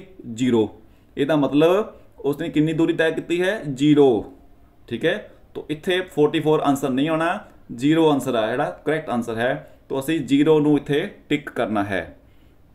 ਇਸੇ ਤਰ੍ਹਾਂ ਨੈਕਸਟ ਹੈ ਆਪਣੇ ਕੋ question number 19 an object weight ਜਿਹੜਾ ਹੈ ਕਿਸੇ ਵਸਤੂ ਦਾ ਉਹਦਾ ਹੈ 10 ਨਿਊਟਨ ਦਿੱਤਾ ਹੋਇਆ ਹੈ।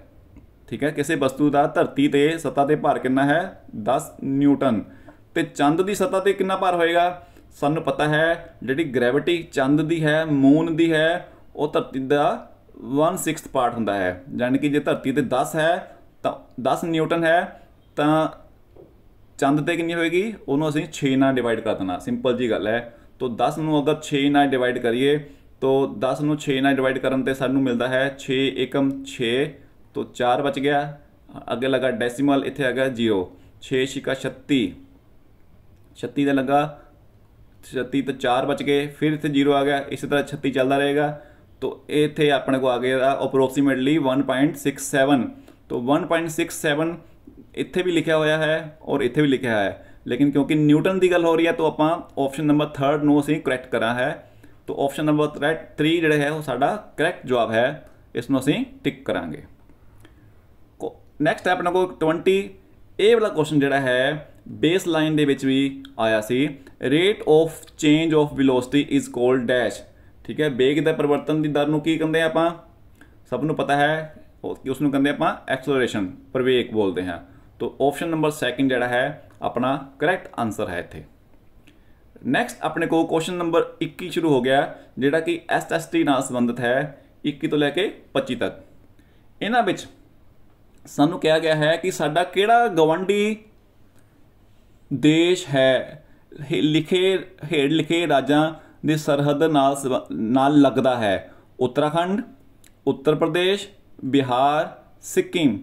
ਠੀਕ ਹੈ, ਇਹ ਚਾਰਾਂ ਨਾਲ ਜਿਹੜਾ ਟੱਚ ਹੋ ਰਿਹਾ ਹੈ, ਉਹ ਕਿਹੜਾ ਗਵਾਂਡੀ ਦੇਸ਼ ਹੈ? ਤਾਂ ਆਪਸ਼ਨ ਆਪਣਾ ਨੂੰ ਨਜ਼ਰ ਆ ਰਹੀ ਹੈ, ਚੀਨ ਹੈ, ਨੇਪਾਲ ਹੈ, ਭੂਟਾਨ ਹੈ, ਬੰਗਲਾਦੇਸ਼ ਹੈ। ਪਰ ਲੇਕਿਨ ਜਿਹੜਾ ਇਹ ਚਾਰਾਂ ਨਾਲ ਟੱਚ ਹੋ ਰਿਹਾ ਹੈ, ਉਹਦੀ ਸਹੀ ਆਪਸ਼ਨ ਹੈ ਨੇਪਾਲ। ਨੇਪਾਲ ਦੇ ਨਾਲ ਇਹ ਚਾਰੇ ਟੱਚ ਹੁੰਦੇ ਹੈ। ਤਾਂ ਅਸੀਂ ਨੇਪਾਲ ਨੂੰ ਇੱਥੇ ਟਿਕ ਕਰਨਾ ਹੈ। ਨੈਕਸਟ ਹੈ ਆਪਣੇ ਕੋਲ ਕੁਐਸਚਨ ਨੰਬਰ 22 ਇਹਦੇ ਵਿੱਚ ਲਿਖਿਆ ਹੈ, ਹੇਠ ਲਿਖਿਆਂ ਵਿੱਚੋਂ ਗਲਤ ਵਾਕ ਦੀ ਪਹਿਚਾਨ ਕਰੋ। ਤੋਂ ਆਪਾਂ ਨੂੰ ਦੋ ਸਟੇਟਮੈਂਟਸ ਦਿੱਤੀਆਂ ਹੋਈਆਂ, ਦੋਨਾਂ ਚੋਂ ਜਿਹੜੀ ਗਲਤ ਆ ਉਹ ਦੱਸਣੀ ਹੈ। ਪਹਿਲਾ ਕਹਿ ਰਿਹਾ ਹੈ, ਭਾਰਤ ਦਾ ਸੁੰਦਰਬਨ ਡੈਲਟਾ ਸੰਸਾਰ ਦਾ ਸਭ ਤੋਂ ਵੱਡਾ ਡੈਲਟਾ ਹੈ। ਇਹ ਸਟੇਟਮੈਂਟ ਬਿਲਕੁਲ ਟਰੂ ਹੈ, ਠੀਕ ਹੈ, ਗਲਤ ਨਹੀਂ ਹੈ। ਸੈਕੰਡ ਕਹਿ ਰਿਹਾ ਹੈ ਘੱਗਰ ਦਰਿਆ ਕਦੇ ਸਰਸਵਤੀ ਦੀ ਸਹਾਇਕ ਸਹਾਇਕ ਨਦੀ ਸੀ। ਬਿਲਕੁਲ ਠੀਕ ਹੈ ਵੀ, ਠੀਕ ਹੈ, ਘੱਗਰ ਨਦੀ ਜਿਹੜੀ ਹੈ, ਉਹ ਸਰਸਵਤੀ ਦੀ ਪਹਿਲਾਂ ਹੈਲਪਿੰਗ ਨਦੀ ਸੀ ਜਾਂ ਉਹਨੂੰ ਕਹਿ ਲਓ ਟ੍ਰਿਬਿਊਟਰੀ ਜਿਹੜੀ ਸੀ, ਨਦੀ ਸੀ ਉਹ, ਠੀਕ ਹੈ। ਤਾਂ ਬਿਲਕੁਲ ਸਹੀ ਹੈ, ਤਾਂ ਦੋਨੇ ਆਪਸ਼ਨ ਸਹੀ ਹੈ।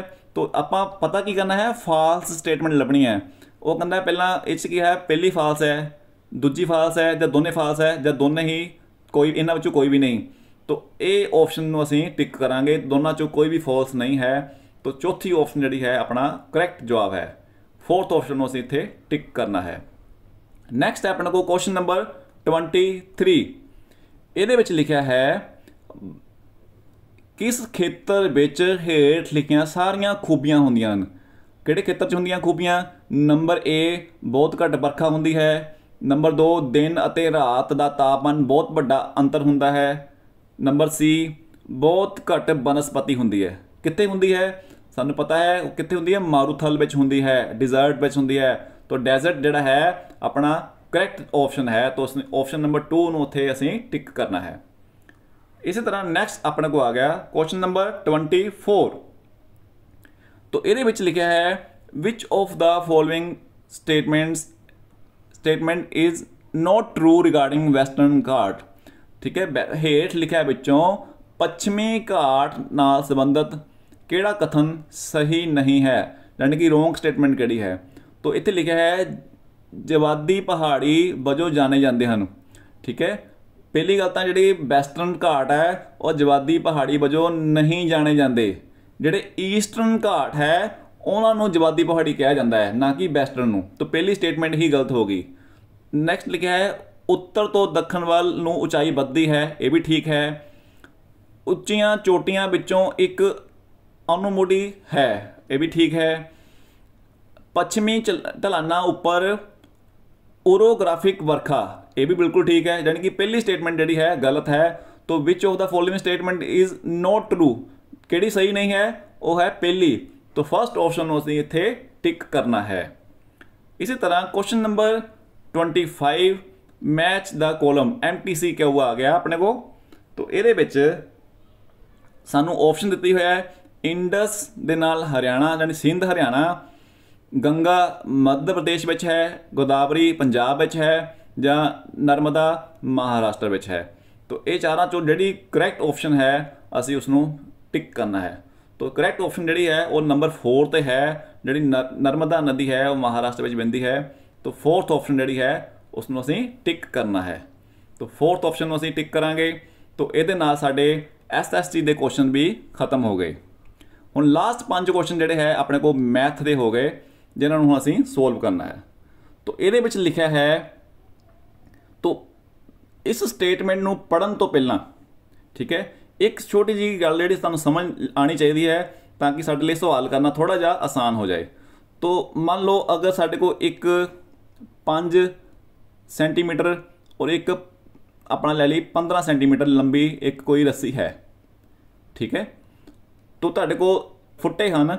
ਇੱਕ ਫੁੱਟਾ ਹੈ 2 ਸੈਂਟੀਮੀਟਰ ਦਾ, ਇੱਕ ਫੁੱਟਾ ਹੈ 3 ਸੈਂਟੀਮੀਟਰ ਦਾ, ਇੱਕ ਫੁੱਟਾ ਹੈ 5 ਸੈਂਟੀਮੀਟਰ ਦਾ। ਤੁਹਾਨੂੰ ਅਗਰ ਕਿਹਾ ਜਾਵੇ ਕਿ ਤੁਸੀਂ ਕਿਸ ਫੁੱਟੇ ਨਾਲ ਇਹਨਾਂ ਦੋਨਾਂ ਇਹਨਾਂ ਨੂੰ ਮਾਪਣਾ ਹੈ, ਇਸ ਤਰ੍ਹਾਂ ਮਾਪਣਾ ਹੈ ਕਿ ਪੂਰਾ ਪੂਰਾ ਨਾਪ ਆ ਜਾਵੇ ਠੀਕ ਹੈ? ਜੇ ਮੈਂ 2 ਦੇ ਨਾਲ ਨਾਪਦਾ 2 ਤੇ ਮੰਨ ਲਓ ਉੱਪਰ 6 ਹੈ 6 ਜੇ ਮੈਂ 2 ਦੇ ਨਾਲ ਨਾਪਣਾ ਇਹ ਆ ਜਾਏਗਾ 2 4 6 ਪੂਰਾ ਪੂਰਾ ਆ ਜਾਏਗਾ। ਲੇਕਿਨ ਜਦੋਂ 15 ਨੂੰ ਨਾਪੂਗਾ ਤਾਂ ਸਾਡਾ ਪੂਰਾ ਪੂਰਾ ਨਹੀਂ ਨਾਪ ਆਏਗਾ। ਤਾਂ ਇਹਦਾ ਮਤਲਬ 2 ਦੇ ਫੁੱਟੇ ਨਾਲ ਦਾ ਸਕੇਲ ਦੇ ਨਾਲ ਅਸੀਂ ਇਹਨੂੰ ਨਹੀਂ ਨਾਪ ਸਕਦੇ। ਫਿਰ ਮੈਂ 5 ਨਾਲ ਕੋਸ਼ਿਸ਼ ਕਰਦਾ। 5 ਨਾਲ ਸਾਨੂੰ ਪਤਾ ਹੈ 5 10 ਤੇ 15 ਇਹ ਪੂਰਾ ਪੂਰਾ ਨਾਪ ਲਵਾਂਗੇ। ਲੇਕਿਨ ਜਦੋਂ ਇੱਥੇ ਨਾਪਣਾ ਸ਼ੁਰੂ ਕਰਾਂਗੇ 5 ਇੱਥੇ ਆ ਜਾਏਗਾ, ਸਾਡੇ ਕੋਲ ਫਿਰ ਪੂਰਾ ਥੋੜਾ ਬਚ ਜਾਏਗਾ। ਤਾਂ 5 ਨਾਲ ਵੀ ਨਹੀਂ ਨਾਪ ਸਕਦੇ। ਤਾਂ ਫਿਰ ਕਿਸੇ ਕੀਤਾ 3 ਨਾਲ। ਸਾਨੂੰ ਪਤਾ ਹੈ 3 ਏਕਮ 3 3 ਦੁਣੀ 6 ਇਹਨਾਂ ਵੀ ਨਾਪ ਦਵਾਂਗੇ 3 5 15 ਹੁੰਦਾ ਹੈ, ਇਹ ਵੀ ਨਾਪ ਪੂਰਾ ਹੋ ਜਾਏਗਾ। ਤਾਂ 3 ਜਿਹੜਾ ਹੈ, ਉਹਦੇ ਨਾਲ ਦੋਨੇ ਨਾਪ ਜਿਹੜੇ ਹੈ ਪੂਰੇ ਪੂਰੇ ਨਾਪ ਹੋ ਜਾਂਦੇ ਆ। ਤੋਂ ਇਹਦਾ ਮਤਲਬ ਤਿੰਨ ਜਿਹੜੀ ਹੈ, ਉਹ ਟੁਕਮਾ ਫੁੱਟਾ ਹੈ ਦਾ ਸਕੇਲ ਹੈ, ਠੀਕ ਹੈ ਨਾ? ਤੋਂ ਇਹੀ ਚੀਜ਼ ਅਸੀਂ ਇਸ ਕੁਐਸਚਨ ਵਿੱਚ ਅਪਲਾਈ ਕਰਨੀ ਹੈ। ਤੋਂ ਆਓ ਪਹਿਲਾਂ ਪੜ੍ਹਦੇ ਹਾਂ ਇਹਦੀ ਸਟੇਟਮੈਂਟ ਹਾਂਜੀ, ਇਹ ਚ ਲਿਖਿਆ ਹੈ the length and breadth of a room is 6 meter 30 centimeter 5 meter 85 centimetre ਯਾਨੀ ਕਿ ਇੱਕ ਕਮਰਾ ਹੈ ਇਸ ਤਰ੍ਹਾਂ ਦਾ ਜਿਸ ਦੀ ਲੰਬਾਈ ਤੇ ਚੌੜਾਈ ਦਿੱਤੀ ਹੋਈ ਹੈ ਲੰਬਾਈ ਕਿੰਨੀ ਹੈ 6 ਮੀਟਰ 30 ਸੈਂਟੀਮੀਟਰ ਯਾਨੀ ਕਿ 6 ਸਾਨੂੰ ਪਤਾ ਹੈ 1 ਮੀਟਰ ਵਿੱਚ ਕਿੰਨੇ ਸੈਂਟੀਮੀਟਰ ਹੁੰਦੇ ਆ 100 ਸੈਂਟੀਮੀਟਰ ਤਾਂ ਇਹਦਾ ਮਤਲਬ ਇਹ 600 ਸੈਂਟੀਮੀਟਰ ਹੋ ਗਿਆ ਨਾਲ 30 ਹੋਰ ਹੋ ਗਏ ਇਹ ਹੋ ਗਏ 630 ਸੈਂਟੀਮੀਟਰ ਉਹਦੀ ਲੰਬਾਈ ਹੈ। ਚੌੜਾਈ ਕਿੰਨੀ ਹੈ? 5 ਮੀਟਰ 85 ਸੈਂਟੀਮੀਟਰ ਯਾਨੀ ਕਿ ਇਹ ਹੋ ਗਿਆ 585 ਸੈਂਟੀਮੀਟਰ ਹੋ ਗਿਆ। ਠੀਕ ਹੈ? ਹੁਣ ਉਹ ਕਹਿ ਰਿਹਾ ਹੈ find the largest rod which can measure the two dimensions of the room exactly. ਜਾਨੀ ਕਿ ਆਪਾਂ ਉਹ ਇੱਕ ਡੰਡਾ ਲੱਭਣਾ ਹੈ, ਸਭ ਤੋਂ ਵੱਡੀ ਸੋਟੀ ਲੱਭਣੀ ਹੈ, ਦਾ ਨਾਪ ਲੱਭਣਾ ਹੈ, ਜੋ ਕਮਰੇ ਦੇ ਦੋਨੇ ਮਾਪਾਂ ਨੂੰ ਬਿਲਕੁਲ ਪੂਰਾ ਪੂਰਾ ਮਾਪੇ। ਤਾਂ ਸੇਮ ਉਹੀ ਜੋ ਤੁਹਾਨੂੰ ਪਹਿਲਾਂ ਸਮਝਾਇਆ ਸੀ ਮੈਂ। ਤਾਂ ਇਹਦਾ ਮਤਲਬ ਇੱਥੇ ਆਪਾਂ ਕੀ ਕਰਨਾ ਹੈ, ਦੋਨਾਂ, ਜਿਹੜਾ ਕਿ ਦੋਨਾਂ ਨੂੰ ਵੰਡ ਦੇਵੇ। ਤਾਂ ਆਪਾਂ ਕੀ ਕਰਦੇ ਹਾਂ, ਪਹਿਲਾਂ 630 ਦੇ ਫੈਕਟਰ ਬਣਾ ਲੈਂਦੇ ਆ ਸਾਨੂੰ ਪਤਾ ਹੈ 630 ਦੇ ਫੈਕਟਰ ਬਣਾਉਣੇ ਆਉਂਦੇ ਆ ਆਪਾਂ ਨੂੰ। ਇਸ ਤਰ੍ਹਾਂ ਬਣਾਉਂਦੇ ਆਪਾਂ, ਠੀਕ ਹੈ? ਪਹਿਲਾਂ 2 ਤੇ ਆਏਗਾ 2 3 6 ਪੂਰਾ ਪੂਰਾ ਚਲਾ ਗਿਆ 2 ਇੱਕਮ 2 ਇੱਥੋਂ 1 ਬਚ ਗਏ 2 5 10 315 ਬਣ ਗਿਆ, ਫਿਰ ਇਹ ਜਾਏਗਾ 5 ਤੇ। 5 ਕਾ 30 1 ਬਚ ਗਿਆ 15 ਬਣ ਗਏ, ਤਾਂ 5 ਤੀਆ 15 63 ਆ ਗਿਆ। 63 ਨੂੰ ਅਸੀਂ ਕਰ ਸਕਦੇ 7 ਤਾਂ। 7 9 63 ਫਿਰ 3 ਤੇ ਗਿਆ 3 ਤੀਆ 9 3 ਏਕਮ 3 ਤਾਂ ਇਸ ਤਰ੍ਹਾਂ ਇਹਦੇ ਬਣ ਗਏ ਆਪਣੇ ਕੋ 2 5 7 3 ਐਂਡ 3 ਇਸੇ ਤਰ੍ਹਾਂ 585 ਦੇ ਤੁਸੀਂ ਆਪਣੇ ਆਪ ਕਰ ਸਕਦੇ ਹੋ। ਤਾਂ ਇਹਨਾਂ ਦੇ ਬਣ ਗਏ ਆਪਣੇ ਕੋ 3 3 5 13 ਤਾਂ ਕਾਮਨ ਕਿਹੜੇ ਹੈ ਇਹਨਾਂ ਚੋਂ? ਤਾਂ ਕਾਮਨ ਆਪਾਂ ਨੂੰ ਨਜ਼ਰ ਆ ਰਿਹਾ ਹੈ, ਉੱਪਰ ਵੀ 3 2 ਟਾਈਮਸ ਹੈ, ਇੱਥੇ ਵੀ 3 ਦੋ ਵਾਰੀ ਆਇਆ ਹੈ, ਇੱਕ 5 ਕਾਮਨ ਹੈ। ਤਾਂ ਇਹਨਾਂ ਦਾ ਜਿਹੜਾ ਲੀਸਟ ਕਾਮਨ ਮਲਟੀਪਲ ਹੋ ਗਿਆ, ਉਹ ਹੋ ਗਿਆ ਆਪਣੇ ਕੋ 3 ਗੁਣਾ 3 ਗੁਣਾ 5 ਤਾਂ ਇਹ ਬਣ ਗਿਆ 3 3 9 9 5 45 45 ਸੈਂਟੀਮੀਟਰ। ਇਹਦਾ ਮਤਲਬ 45 ਸੈਂਟੀਮੀਟਰ ਦਾ ਸਟਿਕ ਹੋਏਗੀ ਤਾਂ ਉਹ ਇਸ ਨੂੰ ਪੂਰੀ ਪੂਰੀ ਨਾਪ ਲਏਗੀ, ਸਾਰੇ ਨਾਪ ਨੂੰ, ਠੀਕ ਹੈ? ਘਟੇਗੀ ਜਾਂ ਵਧੇਗੀ ਨਹੀਂ, ਤਾਂ ਇਹਦਾ ਮਤਲਬ ਆਪਾਂ ਨੂੰ 45 ਸੈਂਟੀਮੀਟਰ ਦਾ ਸੋਟੀ ਚਾਹੀਦੀ ਹੈ, ਸਟਿਕ ਚਾਹੀਦੀ ਹੈ। ਤਾਂ ਫਰਸਟ ਆਪਸ਼ਨ ਆਪਾਂ ਨੂੰ ਨਜ਼ਰ ਆ ਰਹੀ ਹੈ, ਤਾਂ ਇਹ ਆਪਣਾ ਰਾਈਟ ਆਨਸਰ ਹੈ, ਤਾਂ ਅਸੀਂ ਇਸ ਨੂੰ ਟਿਕ ਕਰਾਂਗੇ।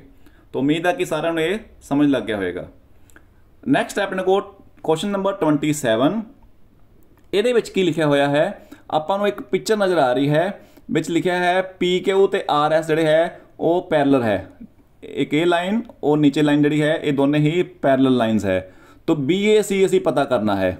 ਬੀ ਏ ਸੀ ਕਿੱਥੇ ਨਜ਼ਰ ਆ ਰਿਹਾ? ਇਹ ਆਪਣਾ ਕੋ ਬੀ ਹੈ, ਇਹ ਏ ਹੈ, ਇਹ ਸੀ ਹੈ। ਤੋ ਬੀ ਏ ਸੀ ਮਤਲਬ ਅਸੀਂ ਆਹ ਵਾਲਾ ਕੋਣ ਅਸੀਂ ਜਿਹੜਾ ਹੈ, ਪਤਾ ਕਰਨਾ ਹੈ।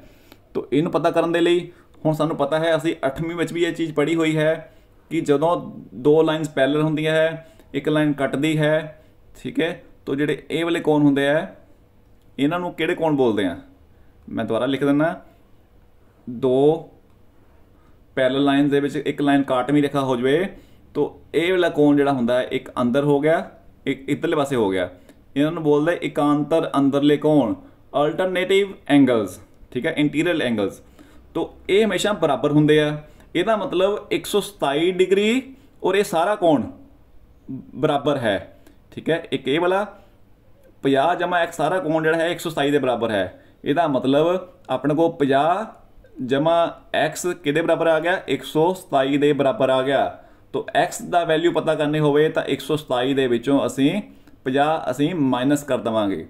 ਜਦੋਂ 127 ਵਿੱਚੋਂ 50 ਨੂੰ ਅਸੀਂ ਮਾਈਨਸ ਕਰਦੇ ਹਾਂ, ਤਾਂ ਸਾਡੇ ਕੋਲ ਬਚਦਾ ਹੈ 77 77 ਡਿਗਰੀ। ਇਹਦਾ ਮਤਲਬ ਇਹ ਕੋਣ, ਕਿੰਨੇ ਡਿਗਰੀ ਦਾ ਹੈ? 77 ਡਿਗਰੀ ਦਾ ਹੈ ਯਾਨੀ ਕਿ ਆਪਸ਼ਨ ਨੰਬਰ 3 ਜਿਹੜਾ ਹੈ ਕਰੈਕਟ ਆਪਸ਼ਨ ਹੈ। ਉਮੀਦ ਹੈ ਕਿ ਸਾਰਿਆਂ ਨੂੰ ਇਹ ਸਵਾਲ ਸਮਝ ਲੱਗ ਗਿਆ ਹੋਵੇਗਾ। ਤਾਂ ਥਰਡ ਆਪਸ਼ਨ ਨੂੰ ਟਿਕ ਕਰਨ ਤੋਂ ਬਾਅਦ ਕੁਐਸਚਨ ਨੰਬਰ 28 ਵੱਲ ਮੂਵ ਕਰਦੇ ਹਾਂ। ਇਹ ਵੀ ਰਲਦਾ ਮਿਲਦਾ ਕੁਐਸਚਨ ਹੈ ਆਪਣੇ ਕੋ ਜਿਹਦੇ ਵਿੱਚ ਦਿੱਤਾ ਹੈ ਕਿ AB ਔਰ ED ਜੋ ਹੈ ਪੈਰਲਲ ਲਾਈਨਸ ਹੈ। ਇਹ AB ਲਾਈਨ ਹੋਗੀ ਆਪਣੇ ਕੋ ਔਰ ਇਹ ED ਲਾਈਨ ਹੋਗੀ ਇਹ ਦੋਨੇ ਲਾਈਨ ਪੈਰਲਲ ਹੈ, ਇਹ ਇੱਕ ਕਾਟਵੀਂ ਰੇਖਾ ਹੈ। X ਦਾ ਮੁੱਲ ਪਤਾ ਕਰੋ। X ਆਪਾਂ ਨੂੰ ਇੱਥੇ ਨਜ਼ਰ ਆ ਰਿਹਾ ਹੈ। ਹੁਣ ਇਹ ਪਿਕਚਰ ਨੂੰ ਥੋੜਾ ਜਿਹਾ ਮੈਂ ਦੁਬਾਰਾ ਬਣਾ ਲੈਂਦਾ ਹੈ, ਇਸ ਤਰ੍ਹਾਂ ਦੀ ਹੈ। ਥੋੜਾ ਵੱਡਾ ਕਰਕੇ। ਆਪਾਂ ਇੱਥੇ ਲਿਖਿਆ ਹੈ x ਇਹਦਾ ਵੈਲਿਊ ਪਤਾ ਕਰਨੀ ਹੈ। ਆ ਆਪਾਂ ਦਿੱਤਾ ਹੈ 36 ਜੇਕਰ ਕਿਸੇ ਤਰੀਕੇ ਨਾਲ ਮੈਨੂੰ ਇਹ ਵਾਲਾ ਕੋਣ ਪਤਾ ਲੱਗ ਜਾਵੇ, ਤਾਂ ਇਹ ਆਪਣੇ ਕੋਲ ਟ੍ਰਾਇੰਗਲ ਬਣ ਗਿਆ। ਟ੍ਰਾਇੰਗਲ ਦੇ ਤਿੰਨ ਕੋਣਾਂ ਦਾ ਜੋੜ ਕਿੰਨਾ ਹੁੰਦਾ ਹੈ? 180 ਹੁੰਦਾ ਹੈ, ਸਾਨੂੰ ਪਤਾ ਹੈ। ਤਾਂ ਇਹਦਾ ਮਤਲਬ ਹੁਣ ਅਸੀਂ ਆਹ ਵਾਲਾ ਕੋਣ ਪਤਾ ਕਰਨਾ ਹੈ। ਇਹ 62 ਦਿੱਤਾ ਹੋਇਆ ਹੈ, ਇਹ ਵੀ 62 ਹੈ। ਹੁਣ ਸਾਨੂੰ ਪਤਾ ਹੈ ਕਿ ਜਿਹੜੇ ਇਹ ਦੋਨੇ ਕੋਣਾਂ ਦਾ ਜੋੜ ਕਿੰਨਾ ਹੋਏਗਾ? 180 ਤੋਂ 180 ਦੇ ਵਿੱਚੋਂ ਅਗਰ ਮੈਂ 62 ਮਾਈਨਸ ਕਰ ਦਵਾਂ, ਠੀਕ ਹੈ 62 ਮਾਈਨਸ ਕਰ ਦਵਾਂ, ਤਾਂ ਸਾਡੇ ਕੋਲ ਬਚਦਾ ਹੈ 118 ਇਹਦਾ ਮਤਲਬ ਜਿਹੜਾ ਇਹ ਵਾਲਾ ਕੋਣ ਹੋ ਗਿਆ 118 ਡਿਗਰੀ ਦਾ ਹੋ ਗਿਆ। ਤਾਂ ਆਪਾਂ ਨੂੰ ਤਿੰਨੇ ਕੋਣ ਪਤਾ ਲੱਗ ਗਏ। ਠੀਕ ਹੈ? ਤਾਂ ਤਿੰਨੇ ਕੋਣਾਂ ਜੋੜ ਕਿੰਨਾ ਹੁੰਦਾ ਹੈ? 180 ਹੁੰਦਾ ਹੈ, ਯਾਨੀ ਕਿ x 36 118 ਕਿਹਦੇ ਬਰਾਬਰ ਹੋ ਗਿਆ? 180 ਡਿਗਰੀ ਦੇ ਬਰਾਬਰ ਹੋ ਗਿਆ। ਤਾਂ ਇਹ ਬਣ ਗਿਆ ਆਪਣੇ ਕੋ x 36 ਔਰ 118 ਕਿੰਨੇ ਹੁੰਦੇ ਆ? 154 ਡਿਗਰੀ। 180 ਉਹਦੇ ਬਰਾਬਰ ਹੋ ਗਿਆ। ਹੁਣ 154 ਉਧਰ ਜਾ ਕੇ ਮਾਈਨਸ ਹੋ ਜਾਏਗਾ। ਤਾਂ ਆਪਣੇ ਕੋ ਕੀ ਬਣ ਗਿਆ? x ਬਰਾਬਰ ਹੈ 180 154 180 ਚੋਂ 153 ਮਾਈਨਸ ਕੀਤੇ ਤਾਂ ਕਿੰਨਾ ਬਚ ਗਿਆ ਆਪਣੇ ਕੋ ਮਾਈਨਸ ਤੁਸੀਂ ਕਰਕੇ ਦੇਖ ਲਓ, ਤਾਂ ਬਚਿਆ ਹੈ ਆਪਣੇ ਕੋ 26 ਡਿਗਰੀ ਕੋਣ। ਇਹਦਾ ਮਤਲਬ x ਦੀ ਵੈਲਿਊ 26 ਡਿਗਰੀ ਆ ਗਈ। ਫਸਟ ਆਪਸ਼ਨ ਜਿਹੜਾ ਹੈ ਕਰੈਕਟ ਜਵਾਬ ਹੈ। ਤੋਂ ਇਹਨੂੰ ਅਸੀਂ ਟਿਕ ਕਰਾਂਗੇ ਔਰ ਨੈਕਸਟ ਕੁਐਸਚਨ ਵੱਲ ਮੂਵ ਕਰਾਂਗੇ। ਸੈਕਿੰਡ ਲਾਸਟ ਕੁਐਸਚਨ 29 ਇਹਦੇ ਵਿੱਚ ਆਪਾਂ ਨੂੰ ਦਿੱਤਾ ਹੋਇਆ ਹੈ ਇੱਕ ਟ੍ਰਾਇੰਗਲ ਜਿਸ ਦੀਆਂ ਸਾਈਡਸ ਦਿੱਤੀਆਂ ਹੋਈਆਂ ਹੈ 8 ਸੈਂਟੀਮੀਟਰ 11 ਸੈਂਟੀਮੀਟਰ 13 ਸੈਂਟੀਮੀਟਰ ਮੰਨ ਲਓ ਇੱਕ ਟ੍ਰਾਇੰਗਲ ਲੈ ਲਿਆ ਵਾਲਾ। ਇੱਕ ਸਾਈਡ ਹੋ ਗਈ 8 ਸੈਂਟੀਮੀਟਰ ਇੱਕ 11 ਸੈਂਟੀਮੀਟਰ ਇੱਕ ਹੋ ਗਈ 13 ਸੈਂਟੀਮੀਟਰ ਤੋਂ ਕਹਿੰਦਾ ਹੈ ਵਾਟ ਇਜ਼ ਦਾ ਏਰੀਆ ਅਸੀਂ ਇਹਦਾ ਏਰੀਆ ਪਤਾ ਕਰਨਾ ਹੈ। ਜਦੋਂ ਸਾਨੂੰ ਤਿੰਨ ਸਾਈਡਸ ਦਿੱਤੀਆਂ ਹੋਣ ਟ੍ਰਾਇੰਗਲ ਦੀਆਂ, ਤਾਂ ਸਾਨੂੰ ਪਤਾ ਹੈ, ਅਸੀਂ ਉਹਦਾ ਏਰੀਆ ਕਿਵੇਂ ਪਤਾ ਕਰਦੇ ਹਾਂ? ਹੀਰੋਨਸ ਫਾਰਮੂਲਾ ਦੇ ਨਾਲ। ਠੀਕ ਹੈ? ਔਰ ਇਹ ਫਾਰਮੂਲਾ ਕੀ ਹੁੰਦਾ ਹੈ? ਏਰੀਆ ਪਤਾ ਕਰਨ ਦੇ ਲਈ ਅੰਡਰ ਰੂਟ ਆਫ s ਠੀਕ ਹੈ ਬ੍ਰੈਕਟ ਦੇ ਅੰਦਰ s a ਫਿਰ s b, s c ਇੱਥੇ a, b, c ਕੀ ਹੈ ਸਾਈਡਸ ਆਫ ਟ੍ਰਾਇੰਗਲ ਔਰ s ਕੀ ਹੈ S ਸਾਨੂੰ ਪਤਾ ਹੈ ਕਿ S ਨੂੰ ਅਸੀਂ ਕੀ ਬੋਲਦੇ ਹਾਂ ਸੈਮੀ ਪੈਰਾਮੀਟਰ ਤੋ S ਦਾ ਫਾਰਮੂਲਾ ਕੀ ਹੁੰਦਾ ਹੈ S A B C ਯਾਨੀ ਕਿ ਸਾਰੀ ਸਾਈਡ ਦਾ ਜੋੜ ਬਟਾ 2 ਤੋ ਆਪਾਂ ਇੱਥੇ ਲਿਖ ਲੈਂਦੇ ਹਾਂ 8 ਜਮਾ 11 ਜਮਾ 13 ਬਟਾ 2 ਹੁਣ ਅਸੀਂ ਇਹਨਾਂ ਨੂੰ ਜੋੜ ਦਵਾਂਗੇ। 8 ਤੇ 11 ਕਿੰਨੇ ਹੋ ਗਏ? 19 19 ਚ 13 ਜੋੜੇ ਬਣ ਗਏ 32 32 ਬਟਾ 2 32 ਦਾ ਕਿੰਨਾ ਹੁੰਦਾ ਹੈ? 16 ਤੋਂ S ਦੀ ਵੈਲਿਊ ਆ ਗਈ 16 ਤੋ ਏਰੀਆ ਪਤਾ ਕਰਨਾ ਹੈ ਇੱਥੇ, ਜਿੱਥੇ ਇੱਥੇ ਆਪਣਾ S ਲਿਖਿਆ ਹੈ, ਉੱਥੇ ਆਪਾਂ 16 ਲਿਖ ਦਵਾਂਗੇ। ਇਹ ਬਣ ਗਿਆ 16 ਬ੍ਰੈਕਟ 'ਚ 16 A A ਕਿੰਨਾ ਹੈ? 8 ਤੋਂ 16 ਚੋਂ ਇੱਕ ਵਾਰੀ ਅਸੀਂ 8 ਮਾਈਨਸ ਕਰ ਲਵਾਂਗੇ।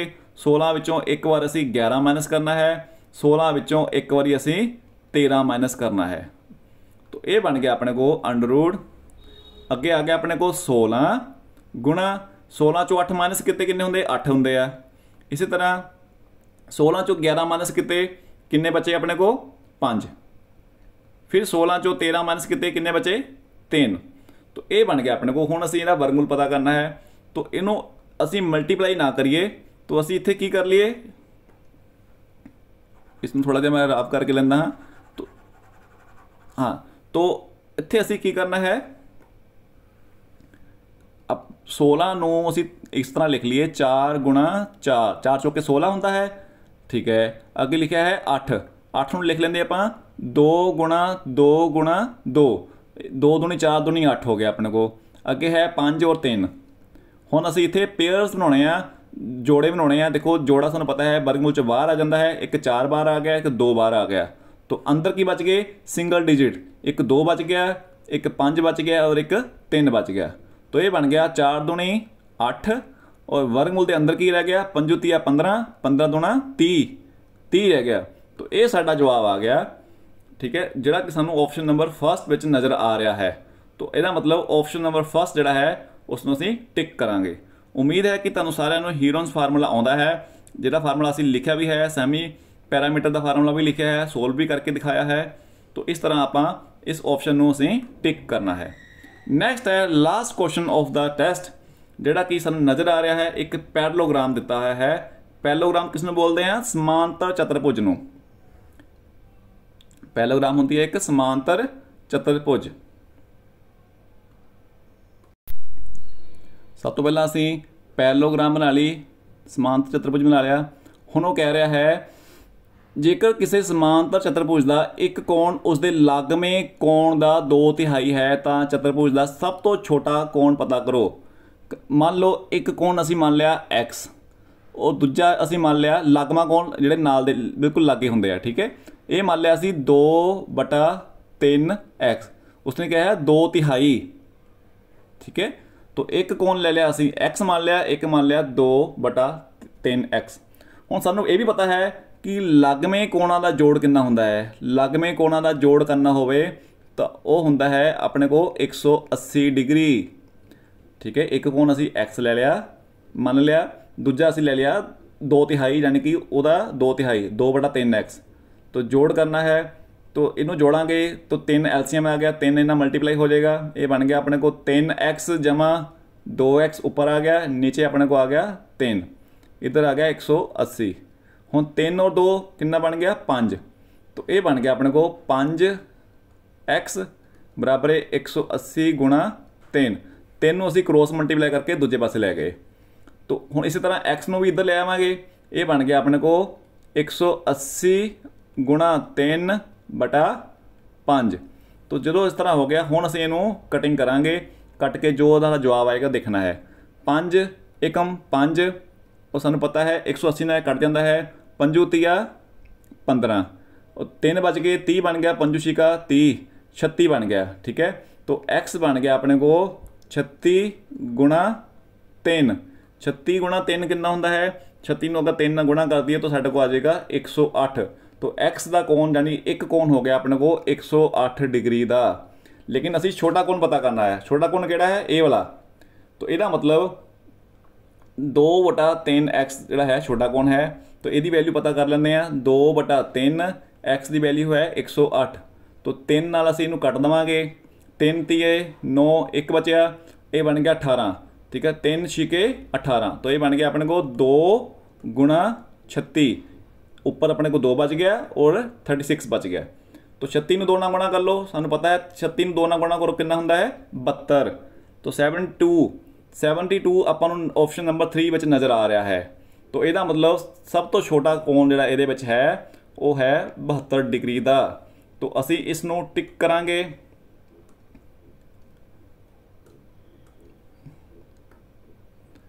ਔਰ ਇਹਦੇ ਨਾਲ ਆਪਣਾ ਜਿਹੜਾ ਅੱਜ ਦਾ ਟੈਸਟ ਹੈ ਉਹ ਕੰਪਲੀਟ ਹੋ ਗਿਆ ਹੈ, ਠੀਕ ਹੈ? ਮੈਨੂੰ ਉਮੀਦ ਹੈ ਕਿ ਸਾਰਿਆਂ ਨੇ ਇਹਨਾਂ, ਇਹ ਸਵਾਲਾਂ ਸਮਝ ਲੱਗੇ ਹੋਣਗੇ ਤੇ ਔਰ ਸਾਰਿਆਂ ਨੇ ਅੱਜ ਦੇ ਟੈਸਟ ਵਿੱਚ ਸੇਮ ਇਸੇ ਤਰ੍ਹਾਂ ਹੀ ਕੀਤਾ ਹੋਏਗਾ।